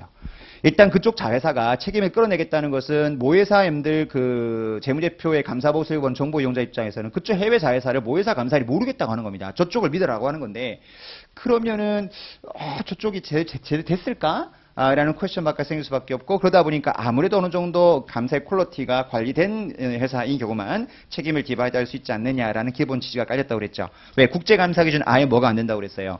책임 divide가 안 되고 다 책임을 지라고 돼 있지만 미국은 divide 할 수 있다고 딱 돼 있어 보니까 자회사 쪽 감사가 제대로 됐는지 정보 이용자는 concern이 되는데 그냥 툭 끊어버리면은 감사 보고 적절성이 떨어지니까 아, 좀 뭔가 quality가 유지되는 케이스 그 케이스가 뭐라고 돼 있었냐면 그쪽 해외 자회사 FS가 기본적으로 어, 미국 회계 기준 또는 PCAOB 기준 따라 작성이 됐고 그리고 감사도 무엇 따라 했고 어, 기본적으로 미국 감사 기준 또는 뭐다? 아, 글로벌 ISA 감사 기준 따라 감사가 됐다면 뭔가 글로벌 기준 따라 이루어진 거니까 뭐 그런 경우는 책임 뭐 할 수 있다? 좀 끊어내도 괜찮지 않느냐라고 돼 있었지. 다만 회계 기준이 다른 경우라 하더라도 뭐는 가능했다 어, 책임을 divide한 경우가 가능했었는데 어떤 경우였었어요? 그쪽 현지의 나라 회계 기준을 썼지만은 그 기준이 미국 GAAP이나 엠들 뭐다 국제 IFRS 기준이나 차이가 별로 없을 때 아니면 차이가 났지만 자기가 뭘 해요? 이거를 adjustment 해가지고 맞췄을 때 그런 경우는 뭐 오케이 됐어 오케이 상관없다라고 했던 거. 그리고 그 현지 감사 보고서 뭐가 되나 사용에 제한이 없다라고 하면 그럴 때는 뭐 할 수 있다 책임을 divide 할 수 있다는 조건이 세 가지가 있었죠. 그렇게만 딱 기억하고 있으면 기본 내용은 다 정리가 되죠. 그 중에서 보고서 내용만지 물어보는 거예요. 됐죠. 부문 감사의 활용 쪽에 중요한 내용은 제가 다 언급해 드린 겁니다 첫 번째 문장 보죠. 로건 CPA가 뭐 하겠다고 돼 있죠? 책임을 다 지겠대요. 저쪽은 뭘 줬다라고 돼 있고요. 적정을 줬다라고 돼 있고요. 네, 뒤에 넘겨보시면 여러분들 굉장히 많은 여러분들 그 자료가 붙어 있어요. 보시면 여러분들 뭐가 나오죠? 여러분들 재무상태표가 나와요. 연결 재무상태표가 나오죠. 뒤에 넘기시면 뭐가 나오죠? income statement. 그 다음 뭐가 나오죠? 모터사이클에 뭐가 나옵니까? BS가 나와요. 그 다음 넘기시면 모터사이클에 뭐가 나오고요? 여전히 BS군요. 뭐야 이게? 아, 두 개, 두 개가. 오케이. 그 다음에, 그 다음 또 뭐가 나 손익계산서가 손익계산서가 나오죠. 엄청 길어요. 그 다음, 그 다음에 나오는 게 뭐냐면, 여러분들, unmodified opinion이 나오죠, 지금. 어느 회사의 적정 의견이 지금? 모터사이클 Company의 unmodified opinion인 거예요. 그러면 자회사는 무슨 의견 받았다는 걸 알 수 있죠? 아, 적정을 받았구나라는 걸 알 수가 있죠. situation 1번, 2번은 적정받은 케이스라는 거예요. 근데 오른쪽 보니까 근데 situation 3번, 4번은 뭐라고 있습니까? qualified 의견 케이스? 그럼 그쪽 자회사가 1번, 2번은 적정을 준 케이스고 3번, 4번은 뭐다? qualified 의견 준 케이스다라고 감을 잡고 보셔야 돼. 자, 그럼 qualified 의견 나갔으면 왜 qualified인지도 볼 필요가 있겠죠? qualified 의견 나간 이유가 뭔지 보려면 뭘 보면 제일 빨라요? 미리 말할게요. 아까 scope limitation qualified는 우리 보고서 양식을 아까 봤지만 departure from GAAP일 때도 qualified 의견 나가는 케이스는 보고서 양식이 똑같이 바뀌어요. 인트로 바뀌지 않죠. MR 안 바뀌어요. AR은요. 세 번째 paragraph에서 qualified한 말이 들어가죠. 그다음 뭐가 붙죠? basis가 붙어요. 그리고 opinion 쪽에 except 나오는 거 똑같고요. 보고서 양식이 똑같아. qualified는 양쪽 모두. 그러니까 뭘 보는 게 빨리 빠르겠다? basis 읽어보셔야 돼. basis. 왜 의견이 qualified 나가는지 근거를 봐야 departure from GAAP인지 scope limitation 금방 알 수 있는데 살짝 봤더니 basis에 뭐라고 되나 볼까요? 재고 원가로 표시되어 있는데 미국 GAAP상은 뭐 FIFO로 회계처리해서 저가법 평가를 해야 되는데 회사가 저가법 평가하면 얼마가 다운돼야 된다? 결국은 뭐다 시세가 떨어진 게 있었나 봐. 저가법 평가를 했었어야 돼 원가로 뒀나 봐. 그게 안 됐다는 거네. 그럼 무슨 상황이다? departure from GAAP 상황이구나. 그래서 저쪽 자회사는 무슨 의견 줬구나? qualified 의견 줬구나 하는 거죠. 다만 이걸 연결했을 때 그게 의견이 뭐다? 적정이 아니로 바뀔 건지는 뭘 판단해 봐야 돼요. 이쪽 qualified 의견 나간 거에다 금액적 크기가 전체 FS 중요한지 판단해 봐야 되겠죠. 자, 얼마가 틀렸다고 되냐 읽어볼까? 저가법 평가를 했었더라 뭐 얼마를 다운시킨다고 되냐 보세요. 3,500 그다음에 작년도 그러니까 올해 거만 올해 것만 3,500을 다운시켰었어야 된다라고 돼 있죠. 맞아요. 그럼 올해 재무제표가 얼마가 틀렸다는 소리예요. 3,500 정도가 틀렸다는 소리가 담겨 있는 겁니다. 됐죠? 지금 이만큼이 다운됐었어야 돼라고 돼 있으니까. 그럼 그게 전체 FS에서 중요한지 판단하려면 뭐가 주어져야 돼요? 전체 FS의 중요성이 나와야 된다고. 뒤에 페이지 넘기니까 뭐가 나오죠? materiality working paper를 봤더니 자, 뭐가 나오죠? 고카 즉 연결 지금 그룹 FS 차원의 중요성 금액이 뭐라고 돼 있습니까? 12,200, 그 다음에 tolerable misstatement 8,500인데 자, 요 문제 케이스는 얼마였죠? 틀린 게 3,500이죠. 그럼 중요성 안에 들어갔잖아. 그럼 저쪽은 적정이 아니라 하더라도 우리는 뭐가 된다? 적정인 거지. 우리 쪽에서 봤을 때는 크게 문제 없으니까. 지문 하나 께 틀린 금액이 9,000이야. 어떡할래요? 중요성 보고 오빠 얘기해봐요. 9,000이에요. 어떡할 건데? 아니, 지금 중요성이 두 개 나와 있잖아요. 뭐하고 뭐가 나왔어요? 오버롤 머티비얼리티가 나오죠? 그 다음 밑에 뭐가 나와요? 톨러러블 스테이트먼트요? 차이가 뭐죠? 응? 차이가 뭐지 두 개가? 그 왜 중요성이 두 개 나올까? 실제 시험에서는 이렇게 중요성이 두 개 나와요. 전체 중요성, 그 다음 거기 나오는 TM이 여러분들 우리가 알고 있는 PM이야, PM. PM이래. 참. Performance Materiality. 우리 수행 중요성을 영어로 뭐라고 한다고요? Tolerable Misstatement라고 해요. 요거는 아 이건 조금 실무에서 실무적인 내용이라 내가 설명 안 했는데 에, 보통 TM은 뭐 할 때 보통 쓰냐면 샘플링 할 때 샘플링 사이즈 결정할 때 내가 얼마를 쓸 거냐 할 때 쓰는 중요성 요거야. 우리 샘플링 통계적 샘플링 할 때 샘플링 공식 같은 거 쓰잖아요. 어? 거기에 보통 중요성 금액 집어넣게 tolerable misstatement 이게 보통 PM 쓰거든 PM. 그걸 집어넣어 갖고 우리가 샘플링 사이즈를 결정을 해요. 결론을 말하면 무슨 말인지 모르겠다. 보통 쉬운 문제는 중요성이 하나만 나와. 그럼 그거로 판단하시면 되는데 이렇게 중요성이 여러 개 나오잖아요. 항상 비교할 때는 전체 중요성이야. 알겠죠? 이 회사 재무표 전체적인 중요성이랑 비교하는 거야. 왜? 우리 전체 FS 견 주는 거거든. 그럼 전체 FS 내가 봐주겠다는 금액이 지금 얼마다? 12,000 얼마죠? 200불이기 때문에 만약 틀린 금액이 만약에 9,000이라 나왔다. 그래도 어쨌든 뭐 범위에 들어가요. 전체 중요성 안에 들어가는 거기 때문에 의견은 뭐 나간다고요? 적정이에요. 그래서 비교할 때는 전체 중요성이 알겠죠? 전체 중요성에 비교하는 거니까 이 문제는 이견 없이 3,500인가 났으니까 여러분들 고민 안 하고 그냥 적정이다 하지만 시험 자서 그 중간에 끼면 뭐야? 위에보단 크고 또 밑에보단 작고 이게 뭐지? 고민할까 봐 말씀드린 겁니다. 중요성은 항상 전체 중요성이라 마지막에 비교하는 거예요. 오케이. 자 그럼 어쨌든 상황 파악은 쭉 됐죠? 상황 자체가 파악됐으면은 앞에 가서 문제 풀어보죠. 제 문제표는 특별하게 뭐 등치만 크지 읽을 만한 내용은 없고요. 자, 다시 갑시다. 자, 로건이 여러분들 뭐라고요? 그룹 감사인인데 other CPA의 업무를 뭐 하기로 했다? 다 take over 하겠다라고 돼 있습니다. 그러면서 other CPA는 적정을 준 케이스가 아까 여러분들 2번, 3번 케이스였죠. 자, 그러면 여러분들 무슨 상황이다? 아무런 문제 없죠. 전부 다 take over하고 적정인 상황. 감사하게 뭐라 간다? unmodified. 그 다음 paragraph 바뀔 것도 없고 그 다음 management 책임 문단도 바뀔 필요가 없고 감사인 책임 문단도 바뀔 필요 없고 opinion도 modify할 필요 없고 basis는 적정이가 붙을 이유도 없고 요좀 이따 상담 비교할 거예요. 그 다음 두 번째 뭐 하겠다고 돼 있죠? 어, 적정을 줬는데 뭐 하지 않겠다고요? 책임을 assume하지 않겠다고 했습니다. assume하지 않겠다라고 하면 체크, 책임 뭐 하겠다는 거 divide 하는 케이스죠. 자, 의견은 뭐 나가면 돼요? 그냥 깨끗하게 적정. 그 다음에 intro paragraph는 바뀔 이유가 없고 management 책임 문단 물어보지 않았지만 바뀔 이유가 없고 감사인 책임 문단은 바뀐다는 거죠. 어디가 바뀌어요? first paragraph가 바뀐다고요. 내가 감사를 하지 못한 component 언급이 되고 그 컴포넌트가 전체 F에 차지하는 금액적 크기가 얼마다가 나온다는 거죠. 이해되고요. 그 다음에 opinion paragraph는 당연히 바뀌죠. 왜냐면 based on our auditing 뿐만 아니라 그 사람의 감사 보고서를 근거해서 내가 의견 준다 말 나와야 되니까 이것도 modify 될 거고 그 다음에 basis paragraph는 당연히 바뀔 이유가 없죠. 붙을 이유가 없잖아요. 적정 나가는 케이스니까. 지금 비상장하고 있습니다. 맞죠? 그 다음 밑에 4번 갑니다. 책임을 assume하겠다고 돼 있어요. 그런데 qualified 의견 줬다라고 돼 있습니다. 아까 qualified 의견 줬었죠. 아까 뭐 때문에? departure from GAAP 때문에 qualified 의견 나가고 확인했었죠. 자, 그런데 내가 책임 take over 한대요. 다만 중요성을 보니까 중요하지 않아. 그럼 의견 뭐 나가죠? 그냥 적정이죠. 그럼 뭐랑 똑같이 나가면 되죠? 위에 2번이랑 똑같은 케이스가 됩니다. 아무리 그쪽이 qualified 하더라도 중요하지 않으면 그냥 전체로 봤을 땐 적정이거든요. 그러면 결국 2번과 4번 답이 쪼로록 같이 가는 거죠. 맞죠? 오케이. 그 다음 밑에 5번 갑니다. 책임 뭐 하지 않겠다고요? take over하지 않겠대. 그런데 의견이 돼. 근데 qualified지만 전체 그룹의 FS 차원에 중요하지 않았죠. 그럼 이건 또 몇 번의 답이 똑같아? 위에 3번하고 답이 쪼로록 같아진다는 거죠. 됐습니까? 그러면서 내가 수업 시간에 풀어준 사람들은 문제 좀 변형해서 풀었던 거 기억나시죠? 자, 문제 변형해서 다시 풉시다. 뭐한 케이스? 뭐로 딱 바꾸면 가장 좋죠? 5번 케이스가 아니고 4번 케이스를 끌고 오면서 이게 뭐라고요? qualified 의견 줬는데 이게 중요한 케이스. 아까는 지금 문제 뒤에 상황이 중요하지 않았잖아. 근데 중요한 상황이라고 보고 가자는 거지. 뭐 틀린 금액이 만약에 아까 3,500이 아니고 35,000이다. 이렇게 나와버리면 뭐가 돼요? 중요하게 되는 거죠. 뭐 이거는 거의 adverse가 나올 수 있을 것 같은데 어쨌든 여러분들 중요한 상황이다라고 바꿔보자고요. 그럼 이제 어떤 상황과 어떤 상황이 동시에 발생하는 문제가 된다고 그랬어요. 어, 전체 그룹 FS 차원에서 이제 무슨 의견 나가는 케이스? departure from GAAP이 되면서 뭐가 나가요? 어, qualified 의견 나가는 거죠. 그러면서 책임 뭐 하는 케이스? divide 하는 케이스. divide responsibility. 이 두 가지 상황이 같이 맞물렸을 때 보고서 양식이 어떻게 바뀌는지 예, 그거를 같이 연습을 하면 이 문제는 훨씬 더 좋은 문제라고 말씀을 드렸어요. 다 갑시다. 인트로 있을 거고요.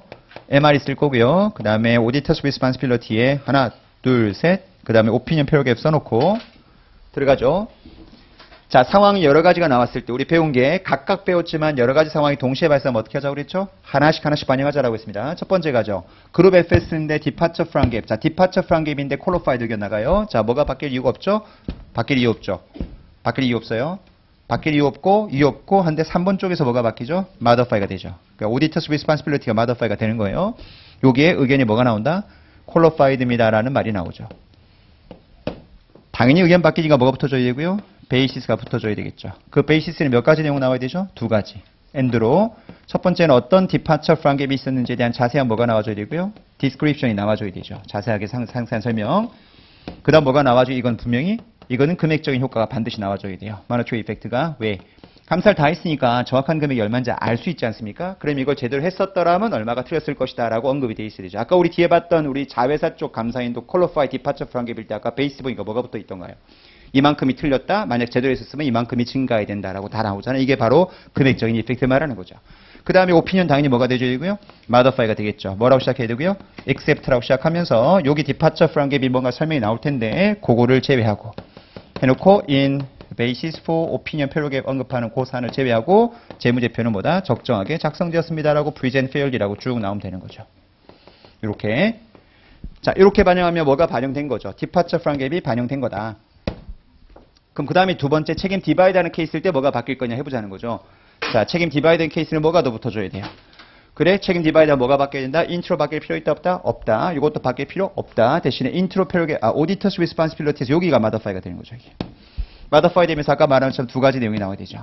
어떤 부분을 감사하지 않았다라고 하는 component by other 어, component auditor가 감사한 component가 나와줘야 되고 그 다음에 두 번째는 이 component가 전체 차지하는 비중이 얼마나 되는지 그 포션이 나와야 된다는 거죠. 비중이. 여기 언급돼 있어야 되죠. 그리고 여기가 또 바뀌어줘야 돼. 여기가 이거 붙는 거 말고 알파로 또 뭐가 달아줘야 돼요? based on 해놓고 나 감사뿐만 아니라 다른 감사인의 감사 보고서에 근거해서 난 의견 줬다는 말이 붙어줘야 되죠. 요 두 군데가 바뀌는 거죠. 그럼 요것도 반영이 되는 거 이렇게. 됐어요? 그렇게 보고서 나갈 거다라는 폼을 잡아줘야 이 문제는 훨씬 더 좋은 문제라 제가 말씀을 드렸을 거예요. 좀 주어진 백커 문제 너무 심플하고 이렇게 바뀌는 케이스까지 연습을 하자라고 제가 말씀을 드렸었고 요때 이 부문 감사인 이름을 언급하는 건 돼야 안 돼요? 원칙은 언급할 수 없다. 맞죠? 다만 어떨 때는 언급할 수 있었다. 두 가지가 and로 만족돼야 됐어요. 첫 번째 뭐 받아야 되고 얘한테 언급할게요라는 permission 받고 그리고 뭘 뒤에 붙여주는 거죠? 얘가 발행한 감사 보고서를 뒤에다가 제시해 줄 때. 이렇게 해주면은 예, 언급이 뭐다? 가능하다라는 것까지 예, 같이 정리하셔야 되고요. 두 가지 상황만 나왔지만 여러분들 제가 뭐까지 가능하다고 그랬어요? 더 붙을 수 있어요. 어떤 상황이 더 붙을 수 있다고 돼 있나? 더 붙어요. 수업 시간에 제가 두 가지 더 언급했을 거예요. 끝장을 보는 거죠. 뭐예요? 비교 재무제 표인 거지. Comparative FS. 그런데 전기는 딴 놈이 감사한 거야. Prior Financial Statement는 예, 다른 사람이 감사한 거죠. Predecessor Auditor가. 그런데 얘가 뭐 하지 않겠다고 하는 거죠? Reissue 안 하겠다고 하는 거죠. Reissue 하겠다고 하면은 여러분들 내가 이 발행하는 보고서 별도로 걔가 뭐 하면 돼요? 보고서를 또 붙여주면 되는 거지. 근데 Reissue 안 하겠대. 그럼 이 3번 케이스가 들어가면 또 뭐가 바뀌어줘야 돼요? 어디가 바뀌어야 되죠, 여러분들? 여기까지 intro부터 여기까지는 바뀔 이유가 없죠? 근데 전기는 딴 놈이 감사했다라고 한다면 뭐가 붙어줘야 돼요? other matter paragraph 붙어줘야 되지. other matter가. 그래서 여기 paragraph 그 뒤에 뭐가 붙어있냐면 other matter paragraph가 또 붙어줘야 돼. 짜릿하죠? other matter paragraph에 여러분들 나오는 내용이 뭐뭐가 나온다고 그랬어요? 안 쓸게요. 전년도 FS는 뭐다? 딴 놈이 감사했다. 그때 딴 놈 얘기할 땐 절대 이름 언급할 수 없다고 그랬지. 그때 절대 이름 쓰면 안 돼. 그 다음 언제 날짜, 보고서 일자. 그 다음에 opinion의 타입. 그 다음 그 opinion이 막 적정이 아니었다면 그 이유가 뭐냐. substantive reason을 써줘야 되고 만약 전기감사인이 emphasis나 other matter 붙였으면 그 내용도 언급해주고. 요게 3번이 들어가면 그까지 들어가야 돼요. 그 다음 4번에 뭐가 있죠? 회사가 망조까지 있는 거야. 고인 컨선에 예, 심각한 다우트가 있는 거죠. 제가 이거 쓰면서 그때 얘기했지만은 제가 이렇게 확대해서 하는 게 아니고 제가 미국 CPA 시험치를 갔을 때 이런 비슷한 문제 나왔었어요.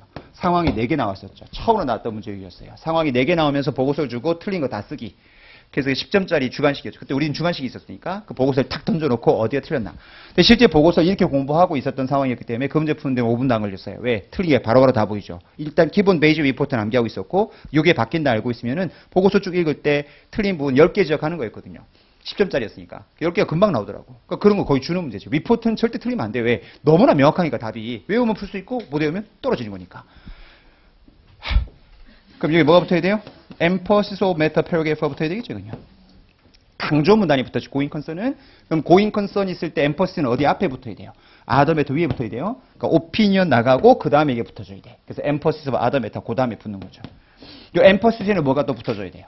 going concern일 때 강조 문단 붙어있는 두 가지가 나온다고 그랬죠. 첫 번째 뭐에 대한 reference가 나와야 돼요? 강조 문단이라고 하는 것은 회사가 주석에 쓴 걸 다시 한번 emphasize 하는 거니까 주석 reference가 반드시 나와야 돼요. 회사 주석 몇 번이 나온 것처럼.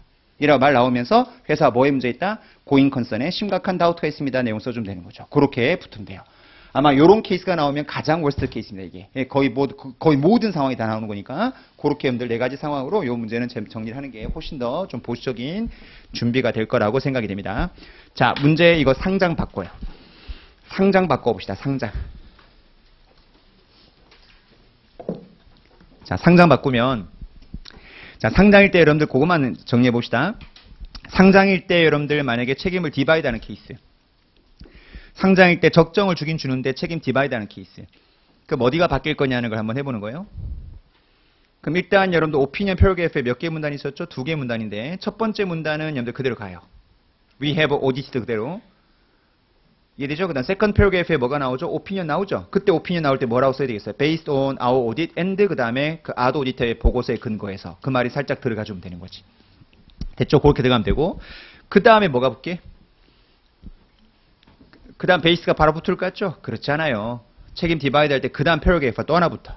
붙으면서 내가 일부를 감사 못했다. 그 말이 나온다고. 그 부분은 딴 놈이 감사했다. 그 포션이 얼마다. 라고 나오지. 분위기 안 좋아? 다시 체크해요. 상장법인일 때 책임 divide 하는 케이스 갑니다. 상장법인일 때 책임 divide 하는 케이스예요. 상장일 때 책임 divide 하는 케이스 갑니다.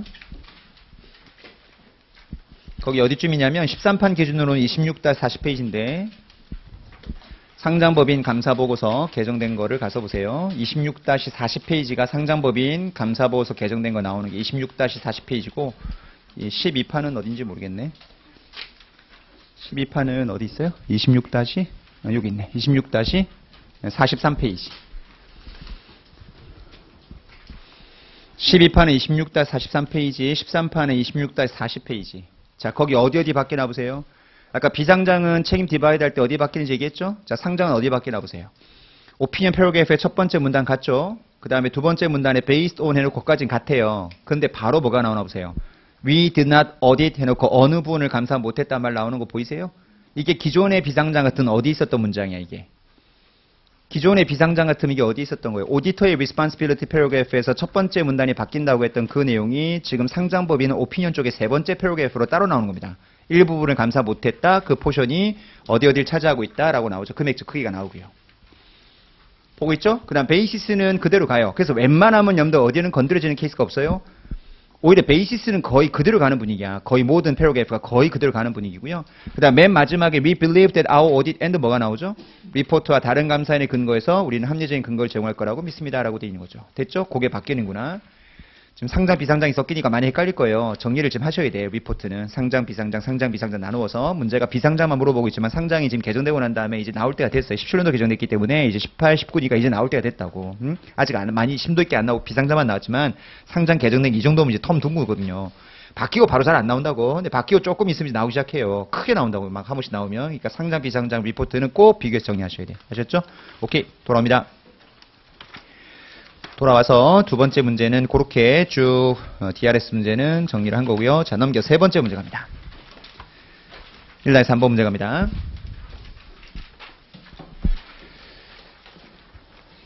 자 문제 읽어보세요. 요거 내가 수업 시간에 안 풀어준 문제일 거거든요. 한번 빨리 읽어보세요. 문제부터 파악하고 갑시다. 문제부터 빨리.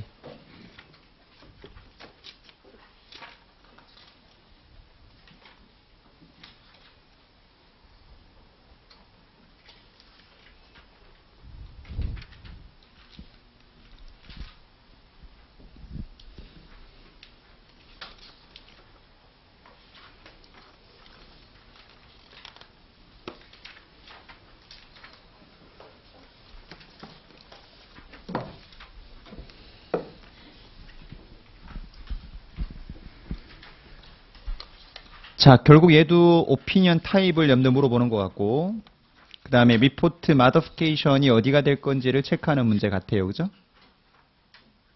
오케이. 어, 가죠. 문제 잠깐 봐요. 지금 울랄라 울랄라 돼 있는데, 오른쪽 뭐가 먼저 나오나 보세요. DRS 문제 만나면은 여러분들 뭐부터 보셔야 돼요? 그 무슨 무슨 자료가 나왔는지부터 먼저 보셔야 돼. 그 내가 수업 시간에 얘기했지만 모두 여러분들 체크하고 문제 읽으라고 그랬죠. 항상 읽을 때 고유 명사를 반드시 체크하고 넘어가셔야 돼요. 사람 이름인지 회사 이름인지 그리고 회계법인 이름인지 클라이언트 이름인지 이거 모르고 읽기 시작하면 계속 앞에 탭에 가야 돼. 이 사람이 누구였더라? 누구였지? 다시 열어봐야 된다고. 그래서 고유 명사는 밑에 여러분들 페이퍼 우리 연습장 주잖아요. 거기다 써놓고 시작하라고. 어, 써놓고 이 사람이 뭔지를 알고 읽어야지 누가 누구한테 주는 건지 내부 문서인지 외부 문서인지 회계사끼리 주고받는 말인지 회사 내부에 주고받는 말인지 모르고 들어가면 헷갈린단 말이죠 이게. 그럼 첫 번째 문제 탭을 보세요. 제목이 뭐라고 돼 있죠? 이메일 from 뭐라고 돼 있다? audit senior라고 돼 있어요. 그럼 뭔가 audit senior부터 메일이 왔다는 거죠 이게? 그럼 제목 email from audit senior인데 from to를 잘 보세요. from은 누가 하면 됐죠? audit senior입니다. 그 다음 밑에 to는 누구죠? 매니저예요. 누가 높아요? 그 직급 체계를 모르면 또 이게 누가 누구한테 커멘트한지 알 수가 없다고 이게 보통 염들 직급들이 처음에는 염들 staff 또는 associate라고 한다고 그 다음 그 위에가 senior associate 요 senior auditor가 바로 그 정도 3, 4년 차 in-charge들 그다음 5년차 이상이 보통 매니저. 어, 그다음 위에가 이제 senior manager, SM. 네, 그다음에 디렉터. 그다음에 보통 이제 director하고 supervisor 비슷해요. 보통 쓰는 용어가 그다음에 마지막에 파트너라고. 순서가 대강 그래요. 알겠죠? 이게 나오면 직급이 어느 정도 된 놈이지, 이놈이. 아, 얘가 정신 있는 놈이겠다, 없는 놈이겠다 판단할 수 있다고. 그럼 얘는 인차지가 누구한테 보고한 거죠? 매니저한테 보고한 거니까 뭔가 영혼 있는 대화가 왔다 갔다 할 거예요. 알겠죠? staff이 아니기 때문에 이건 영혼 있는 대화가 왔다 갔다 할 건데 이메일이 밑에서부터 봐야 돼? 위에서부터 봐야 돼? 아니, RE가 붙었잖아. RE가 붙었으니 밑에서부터 봐야지. 위에서부터 밟으면, 어, 이상해 막 읽다 보면, 어, 얘가 왜 또 이상한 말 하지? 그, 그런 것도 알아야 된다니까. 우리 이메일 받으면 밑에서 쭉 이게 reference가 올리잖아요. 그러니까 밑에부터 봐야 돼, 밑에부터. 밑에 보고 위에 읽어야 된다고, 이게. 이메일을 볼 때. 알겠죠? 정말 실무적인 문제인 거예요. 그럼 이메일이 왔다 갔다 한 게 있구나 정도 파악하고 나중에 읽어요? 그 다음 뒤에 뭐가 나와? 또, 그 다음, 그 다음 탭이 뭔가 보세요. 빨리빨리 내용부터 파악해야 되니까. 회사 이름이 지금 뭔가 세 군데가 나온 것 같아. 세 군데 나는데 첫 번째는 프로덕션 뭐다 구루스 뭐야 풋노트야 뭐야 이게. 모르겠어. 어쨌든 뭔가 재무제표 주석이 나와 있어 지금. 이래요. 지금 회사와 관련된 뭔가 재무제표 주석이 지금 양쪽 탭마다 나오거든. 그럼 주석에 뭐에 대한 내용이 나와 있나 볼까? 첫 번째는 왼쪽 보니까 재무제표 작성 기준이 나오면서 추정치에 대한 내용이 나오고 인컴텍스에 대한 내용이 나오고 그다음 PP 관련된 게 나오네. 그 다음에 나오는 게 소송 사건이 나오고 그 다음 income tax 뭐 valuation 쪽 이런 내용이 나온다고 DTA나 DTA 실행 가능성. 그 다음 노트 7부 보니까 뭐가 나온다? 리스 관련된 게 쭉 나오고요. 뭐가 나와 있다 지금? 딱 당, 이건 딱 정리를 하면 아 자료는 두 개구나. 회계사끼리 서로 주고받은 이메일. 그리고 회사 FS에 뭐가 나왔다? 주석이 나와 있구나. 딱 그까지 감 잡고 문제 보고 필요한 거 찾아야 돼, 이게. 됐죠? 시험 치신 분들 모든 피드백이 뭐예요? DRS 문제 문제가 되게 많다는 거야. 근데 필요한 내용은 거기에 80% 이상은 다 날라간대. 필요한 내용은 한 10% 20%에 다 나온대. 그러니까 문제 덩치가 크다고 전혀 당하지 말고 지금 백코드 오시면 문제 되게 되게 크지만 필요한 거 읽으면 몇 개 안 되잖아요. 그러니까 그걸 빨리빨리 파악하는 게 되게 중요한 거지 이게. 그럼 결국 이메일 주고받은 내용하고 주석이 이제 나와 있구나 감 잡고 문제 볼게요. 컴퍼니 이름이 뭐예요 지금? Production 원더 Gurus인가 뭐 이런 회사가 있나 봐. opinion type을 choice해보고 report modification을 지금 해보라고 돼 있는데 그러면 그, 이 Production Gurus라는 회사는 어떤 이슈가 있었는지를 먼저 회계사끼리 주고받은 메일을 봐야 되겠다. 그죠? 자, 아래 메일부터 보셔야 돼. 매니저가 뭐라고 코멘트합니다. 갈게요. audit senior야 봐라. 내가 너네 audit file을 쭉 검토하다 보니까 Production Gurus, Assisted Living Group, 그 다음 Red Baron 요 회사와 관련돼서 뭔가 지문이 있다. 이게 무슨 노트가 나가는 거예요? 이게 review note 이게 review. review note 이게. 우리 뭔가 쭉 하고 는날 맞으면 review note 써준다고 그랬잖아요. 그럼 이 매니저가 다 하고 나서 또 나한테 올리겠죠. 그럼 내가 또 뭐예요? 또 review note 날라간다고 이게. 그 계속해서 뭐 하는 거죠? 단계별로 이게 뭐 이게 이게 단계별로 supervision 하는 거예요. 응? 밑에 한 것을 우리 배웠잖아. critically review해야 된다. assistant 한 거에 대해서는 every level of supervision 이란 말이 바로 이거예요. 단계별로 거치면서 계속 검토를 하는 거지. 그래야지만 듀케한 거로 봐주겠다는 게 우리 교재에 있었던 표현이거든요. 지금 그 과정이 일어나고 있습니다. 그럼 프로덕션 그루스부터 볼게요. 뭐라고 돼 있나? 내가 봤는데 어? 감가 방법이 바뀌었더라. 감가 뭐가 바뀌었다고요? 방법이 바뀌었어요. 내용 요소 잔존 가치가 바뀐 게 감가 방법이 바뀌었어. 뭐의 변경이죠? accounting estimate change죠. 잔존 가치, 내용 연수 감가상각 방법 바뀌면 다 묶어서 뭐의 변경? estimate change. 지금 회계상 무슨 처리? prospective. 근데 감사 측면에서는 주의해야 되지. 왜? 원래 estimate change를 하게 되면 여러분들 emphasis를 붙여요, 안 붙여요? 정신없지? 회계는 기본적으로 우리 estimate change는 prospective인데 우리 inconsistency의 경우에 emphasis 붙이게 돼 있잖아요. 아이 맹꽁이들 이러면 안 돼. 자 그럼 emphasis 붙이는 케이스 세 가지가 뭐지? 첫 번째가 concern의 substantial doubt, 두 번째 inconsistency, 세 번째가 어, special purpose reporting framework, 거기 대표적인 게 justified departure from 게 있었고 등등등 그 세 가지 emphasize 붙이는 가장 대표적 케이스인데 그 두 번째 케이스 inconsistency. 그럼 inconsistency의 경우는 뭔가 바뀌었다는 소리잖아요. 자 바뀌었을 때 우리가 emphasize 꼭 해야 되는 케이스, 안 해도 되는 케이스 나눠줬다. 자 꼭 해야 되는 케이스는 뭐였지? Principal change가 있거나 아니면 뭐다? error correction 있을 때. 맞죠? 근데 안 해도 되는 케이스는 뭐였죠? estimate change나 reporting entity의 변경 딱 일단 fix 시켜놓고 그런 다음에 예외가 하나씩 하나씩 있었다고.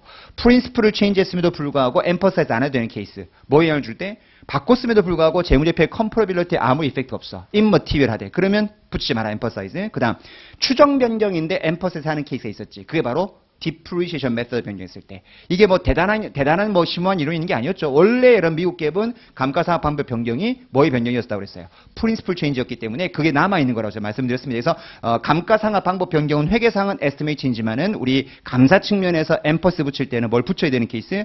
emphass를 꼭 붙여야 되는 케이스라 배웠던 그 케이스 이게요. 됐죠? 뭔가 변경이 있었구나라는 거죠 이게. 근데 가기 전에 그게 결국 inconsistency까지 가려면 어? emphasis를 붙여야 되는 케이스까지 가려면 그 전 단계에서 여러분들 우리 그림 기억나요? 몇 가지 필터링 통과해야 되게? 세 가지를 통과하고 났을 때 얘기하지, 이게. 제일 첫 번째, 사유가 타당한지 봐야 돼. 그 다음, 회계처리 맞겠나 봐야 돼. 회사가 추석에 공시했나 봐야 된다. 세 가지 모두 만족했을 때 엠퍼사에 붙이는 거라고. 그럼 뭘 여러분들 뭐다 지금 찾아야 돼요? 사유가 정말 타당한지, 회계사 판단했는지, 회계처리는 프로스펙티브로 했는지, 그리고 아까 뭐가 뒤에 나왔어요? 주석이 나왔잖아. 그럼 주석에 뭐가 나와야 돼? 이 바꿨다는 말이 나와 있어야 돼. 안 나와 있으면 의견 적정 못 주는 거지. 그럼 디파처 프랑 갭으로 빠져버리는 거예요. 알겠죠? 그렇게 실제 뭐다 판단해 보라는 거죠. 회사 거 FS를 주고 난 다음에. 그죠? 그러니까 정리를 하고 나면 간단한 테마인데 이렇게 팍 줘버리면 여러분들 이걸 다 찾아내야 되는 거예요. 이 필요한 거를. 그게 시간이 많이 걸린다는 소리예요. 가봐요. 그러면 뭐라고 여러분들 인차지 답했나? 한 회사씩 나눠 갑시다. Production Gurus부터 답변 뭐라고 했나 보죠. 인차지가. 정말 실무적으로 왔다 갔다 하는 거랑 똑같네요. 커멘트 했더니 뭐라고 되냐 보세요. 자, 회사랑 discussion 했대. 했더니 CF가 정액법 쓰다가 생산량 비례법 우리 기억나, 기억나죠? unit of production을 바꿨대. 실제 사용하는 뭐다? 그 시간 그 기준으로 감가상각 하기로 했대. 왜냐하면 회사가 어, 이게 더 정확할 거라고 여러분들 생각했대요. 그게 훨씬 더 matching에 더 자연스러울 거다라고 판단했답니다. 정액법보다는. 그 다음 회사는 여러분들 각각 produced unit별로 revenue를 창출하기 때문에 예, 그렇게 바꿨대요. 어, 회사는 여러분들 회계 처리를 prospective로 뭐 했다고 돼 있죠? 어, 처리했다라고 돼 있고 정확하게. 그리고 중요한 말이 does have, does not이 아니에요. does have a material effect on comparability. 재무제표상의 비교 가능성에 중대한 effect를 준다라고 판단하고 있습니다. 그럼 봐봐요. 이 지금 인차제 답변이 처음에 한 서너 줄은 여러분들 변경 사유가 타당하다고 CP는 판단한 거야. 회사가 그렇게 하는 게 수익 비용 대응에 맞다고 본 거지. 그 다음 회계 처리 뭐다? prospective로 잘 했다는 거 확인됐죠. 그럼 뭐만 이제 마지막 따주면 돼? 주석에 변경했단 말이 나오는지만 확인하면 돼. 뒤에 넘겨보세요. 주석에. 그러면 그 회사 중요 회계 정책에 대한 내용이 나오는데 뭐 우쩌고 저쩌고 쭉 돼 있는 것 중에서 어딜 가서 보시면 되냐면 PP를 가서 보는 게 맞겠죠. PP, PP. 자, PP의 second paragraph를 확 보니까 눈에 보이네. 네 번째 연도에 we changed our method of depreciation on our production equipment from straight line에서 뭐로 바꿨다? unit of production으로 바꿨다. 이 말이 체크돼서 된다고. 그럼 우리가 알고 있는 세 가지 필터링 다 통과한 거죠. 그럼 뭐가 나가는 게 맞아요? 적정인 거예요. unmodified예요. 그래서 이건 의견 나가는 타입이 뭐라고요? unmodified입니다. 적정이에요. 됐죠? 적정이라고 하면 되고요. 이게 왜 칼럼이 뭐 위아래 두 개 쓰는 거 두 개 뭐, 뭘, 뭘 두 개, 뭐, 의견이 두 개 나가? 두 개고, report modification? 뭐야? 이게 뭐야? 그렇게 안 해. 그냥 하나 쓰고, reporting modify, modification 하면 되는 거예요. 100거 풀어보시면 아마 의견 종류 하나 쓰고, reporting modification choice 하면 되는 거예요, 이 문제. 됐죠? 거기 뭐, 칼럼이 되게 많은데, 뭐, 뭐, 뭐 쓸래요, 거기다. 의견 하나지. 자, 의견은 뭐 나간다? Unmodified죠? unmodified면서 보고서 양식은 뭘 클릭하면 될까? 적정이지. 적정인데 뭐는 갖다 붙여야 될까? emphasis,는 갖다 붙여야 돼. 이게 inconsistency에 해당되는 거니까. 맞죠? 근데 inconsistency에서 emphasize를 붙이는데 그건 어디 뒤에 붙어야 되고요? opinion paragraph의 다음에 붙어야 되겠네. 그럼 여러분들 그 choice 마지막에 여러분들 박스 보니까 적정이라 클릭하고 그 다음에 밑에 보고서 양식은 맨 밑에 보시면 opinion paragraph 다음에 뭘 갖다 붙인다고요? emphasis를 갖다 붙인다라고 되어 있는 걸 클릭하면 되는 게 이 지금 프로덕션 그루스라고 하는 회사의 의견 나가는 형태와 보고서 양식이 된 거예요. 감 잡을 수 있겠죠? 내용을 정리하니까 간단하잖아. 어렵지 않잖아요. 그죠? 오케이. 그 다음 두 번째 회사 여러분 판단해 보세요. 한 2분 드릴게요. 빨리빨리 가봐요. 뭐라고 돼 있는지 주고받은 대화 내용하고 뒤에 주소가 빨리 봐보시라고.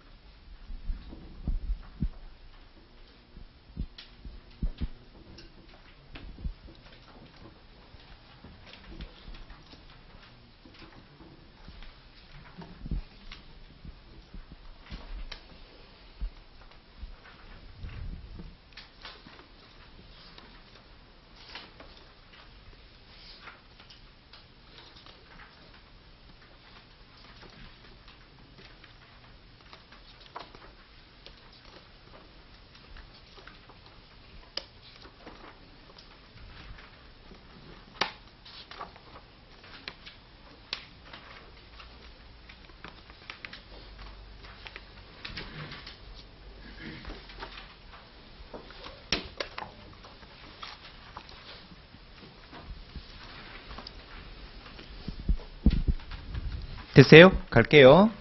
음, 자, 먼저 지문이 뭔지부터 봐야 되죠? 인- 에, 저 매니저가 인차지한테 뭐라고 코멘트 했나? Did you receive? 변호사 조회서는 받았니? 해놓고 있는데 pending litigation이 있나 봐요. 소송 사건 관련해서 우리 변호사 조회서 받아야 되죠. 그래서 우리 배웠다시피 소송 사건 관련해서 우리가 해야 되는 절차가 크게 몇 가지 있었어요. 많은 절차를 해야죠. 소송 관련해서 아, 정말 이거 정말 실무에서 쓰는 리뷰 노트랑 거의 똑같이 쓴 거예요 지금 이거. 그 저도 쓰거든요. 조회서 다 회수했니? 예, 변호사 조회서는 다 왔니? 예, 금융 조회서 왔는데 잔액이 다 맞디? 혹시 우발 채무 없디? 경영자 rep letter는 받았니? 이다 물어본다 이렇게. 그럼 그쪽에서 오, 오케이 받았습니다. 받았습니다. 받았어. all clear? 오케이. 그럼 넘어가거든. 그 지금 이제 변호사에서 받았니? 물어봤어요. 이 회사 뭐가 있다는 거죠? 소송이 있겠죠. 그럼 소송 사건은 주석이 뭐가 돼 있어야 돼? 공시가 돼 있어야 돼. 이건 좀 이따 읽어보고. 그러니까 이제 인차지가 뭐라고 답했나 볼게요. 받았다. 근데 변호사 답변 왈. 우리 생각에 중요한 단어가 딱 보이죠, 여러분들. 뭐요? reasonable possibility가 나오면 뒤에 금액이 추정되냐 안 되냐 아무 상관이 없어. 그냥 끝이지. 내가 그러면 loss contingency가 됐던 gain contingency 됐던 가능성이 reasonably possibly 뭐만 하면 돼요?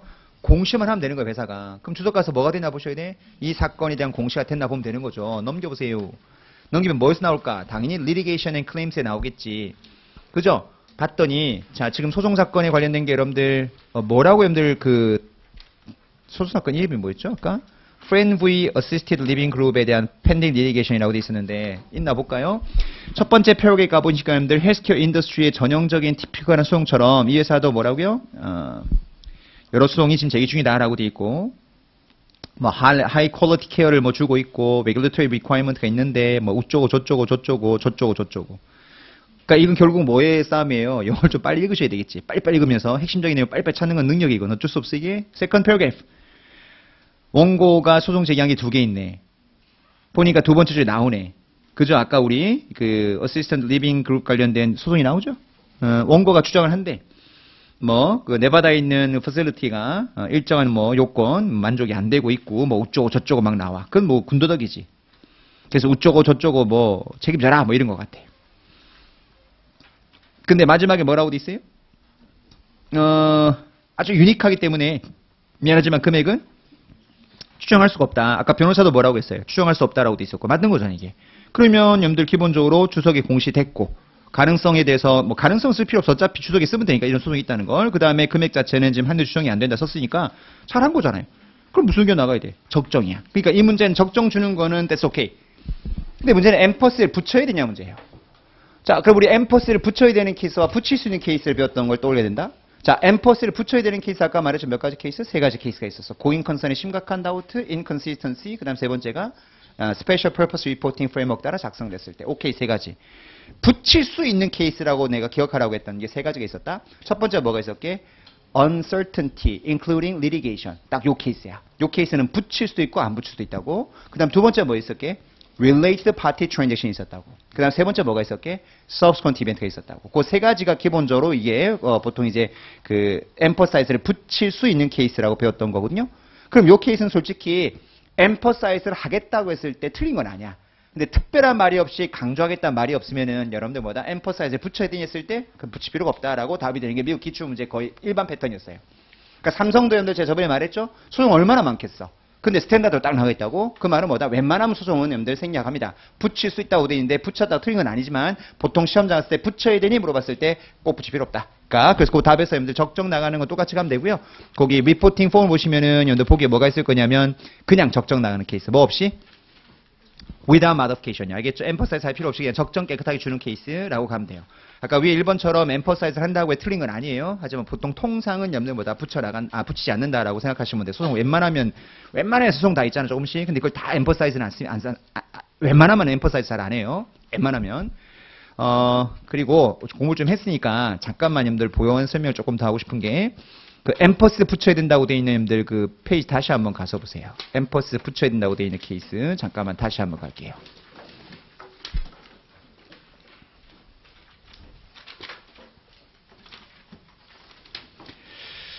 자, 우리가 엠퍼시스를 붙인다라고 배웠던 케이스를 잠깐 볼 건데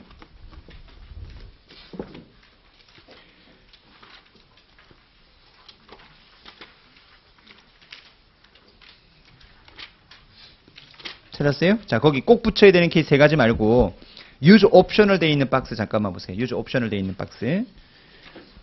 13판으로 따지면 26-5페이지 같으네. 옛날 판도 그 정도 되지 않나? 26- 옛날은 뭐 8페이지인가? 뭐 그 정도. 자, 거기에 여러분들 박스가 있을 건데 emphasis 붙여야 되는 케이스 세 가지는 아까 얘기했고요. use option을 돼 있는 거에서 여러분들 원래 네 가지가 있는데 4번은 별로 중요하지 내가 얘기 안 했습니다. 뭐 우리 재해 같은 거 발생했을 때 뭐 이런 것들은 여러분들 당연히 쓸 수 있겠지만 잘 없는 케이스고요. 그 위에 세 가지를 내가 좀 기억하라고 그랬죠. 붙일 수 있는 케이스를 배웠던 게 소송 사건 포함한 uncertainty 이거 말한 거지 이게. 그 다음에 두 번째 특수관계자 거래고 세 번째가 subsequent event라고 돼 있죠. 자, 이거를 좀 비교해서 보려고 그래. 여기 subsequent event에서 뭐를 붙일 수 있다고 돼 있어요 지금? emphasis를 붙일 수 있다고 배웠어요. 자, 그 페이지 얼마나 공부를 꼼꼼히 하는지를 볼 수 있는데 그거를 뭐랑 연결하냐면 앞쪽에 우리 배웠던 subsequent event 페이지를 가서 볼게요. 탑픽 몇 번하고 좀 연결했으면 좋겠냐면 그 subsequent event 쪽이 아니고요. subsequent 여러분 어, discovered fact라고 배웠던 페이지 23-2 페이지 한번 잠깐 가보세요. 23-2 페이지. 23-2 페이지 가요. 지금 리뷰니까 이렇게 갑니다. 정규 때는 내가 복잡할까봐 얘기를 안 해주고 넘어가는데 참 이거 잘 봐요. 우리 23-2 페이지 나왔던 상황이 어떤 상황이냐면 기억나요? 보고서 다 발행하고 난 다음에 나중에 뭔가 자기가 간과했던 것을 발견한 경우 있다고 그랬잖아요. 기억나시죠? 그럼 제일 먼저 무슨 절차하게 돼 있었죠? 진짜냐, reliable. 그 다음 감사보고서를 현재 존재했던 사건이냐. 그 사실 알았더라면 의견이 바뀔 정도로 중요한 사안이냐. 정보 이용자가 그 FS를 지금 밀라이하고 있는 상태이냐. 이 네 가지를 확인하라고 돼 있었고 그 네 가지가 모두 yes라고 판명되면은 늦었지만 뭐 하라고 했죠? 재무제표도 회사도 고쳐야 되고 CPA도 그거에 대해서 감사보고서를 수정 발행해야 된다고 그랬었어요. 기억나죠? 물론 기존에 발행했던 보고서를 뭐할 수는 없다. 리콜할 수는 없지만 자 그러면 상황이에요. 회사가 FS를 고치겠죠? 들어요? 회사 고칩니다. 고치면 그 고친 재무제표에 대해서 CPA는 보고서를 다시 발행하는 거예요. 됐죠? 어, 그러면 그때 의견은 무슨 의견 나가지?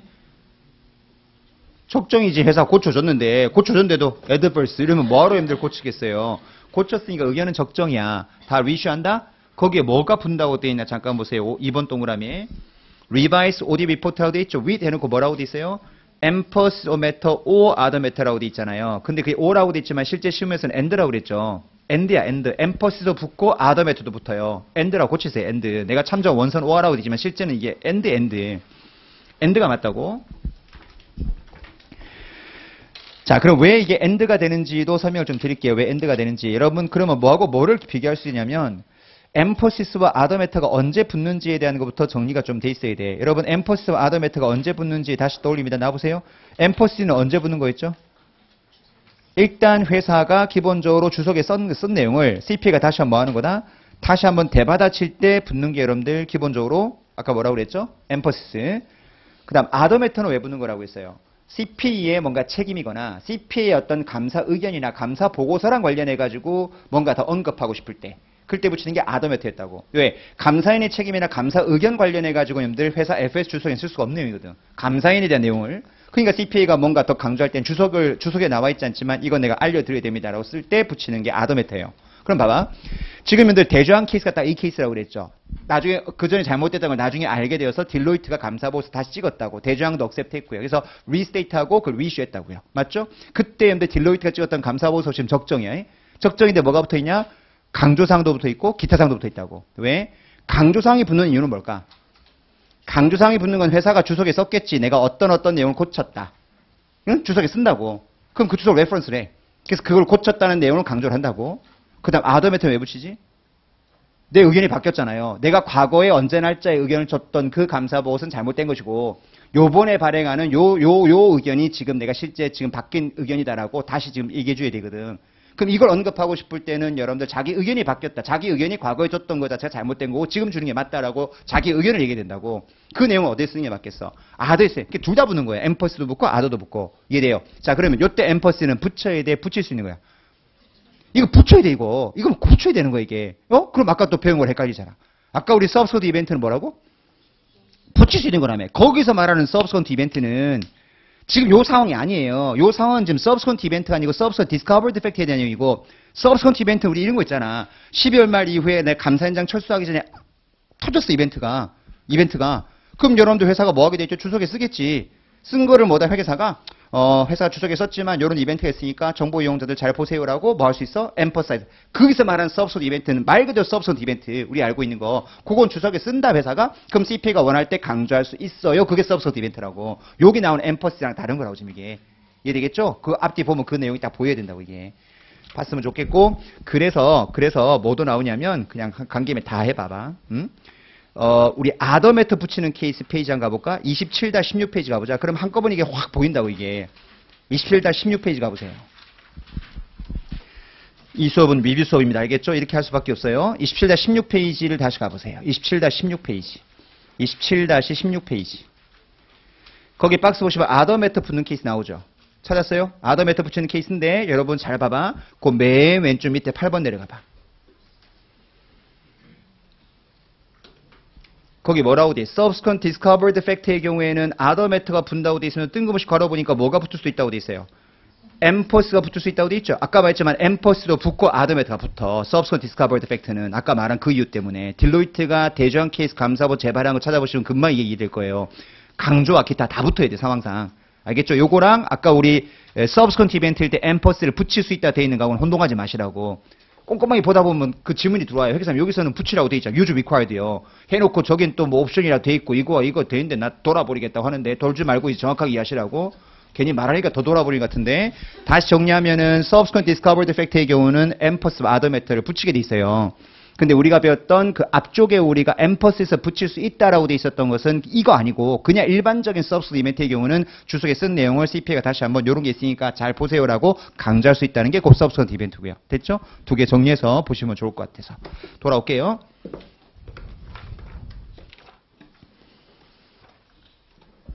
자, 두 번째 Assisted Living 그룹은 여러분들 판단이 선 것 같아요. 레드 베런까지만 하고 쉬었다 갑시다. 자, 레드 베런 갈게요. 자, 레드베런 어, trucking 회사인데 뭐라고 질문했나 볼까요?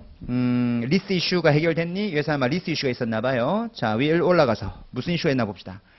나는요, 회사가 어, 리스를 capitalize 하라고 journal entry를 propose 했습니다. 여러분 이미 내가 journal entry를 propose 했다는 것 자체가 이미 이건 중요하다는 거야.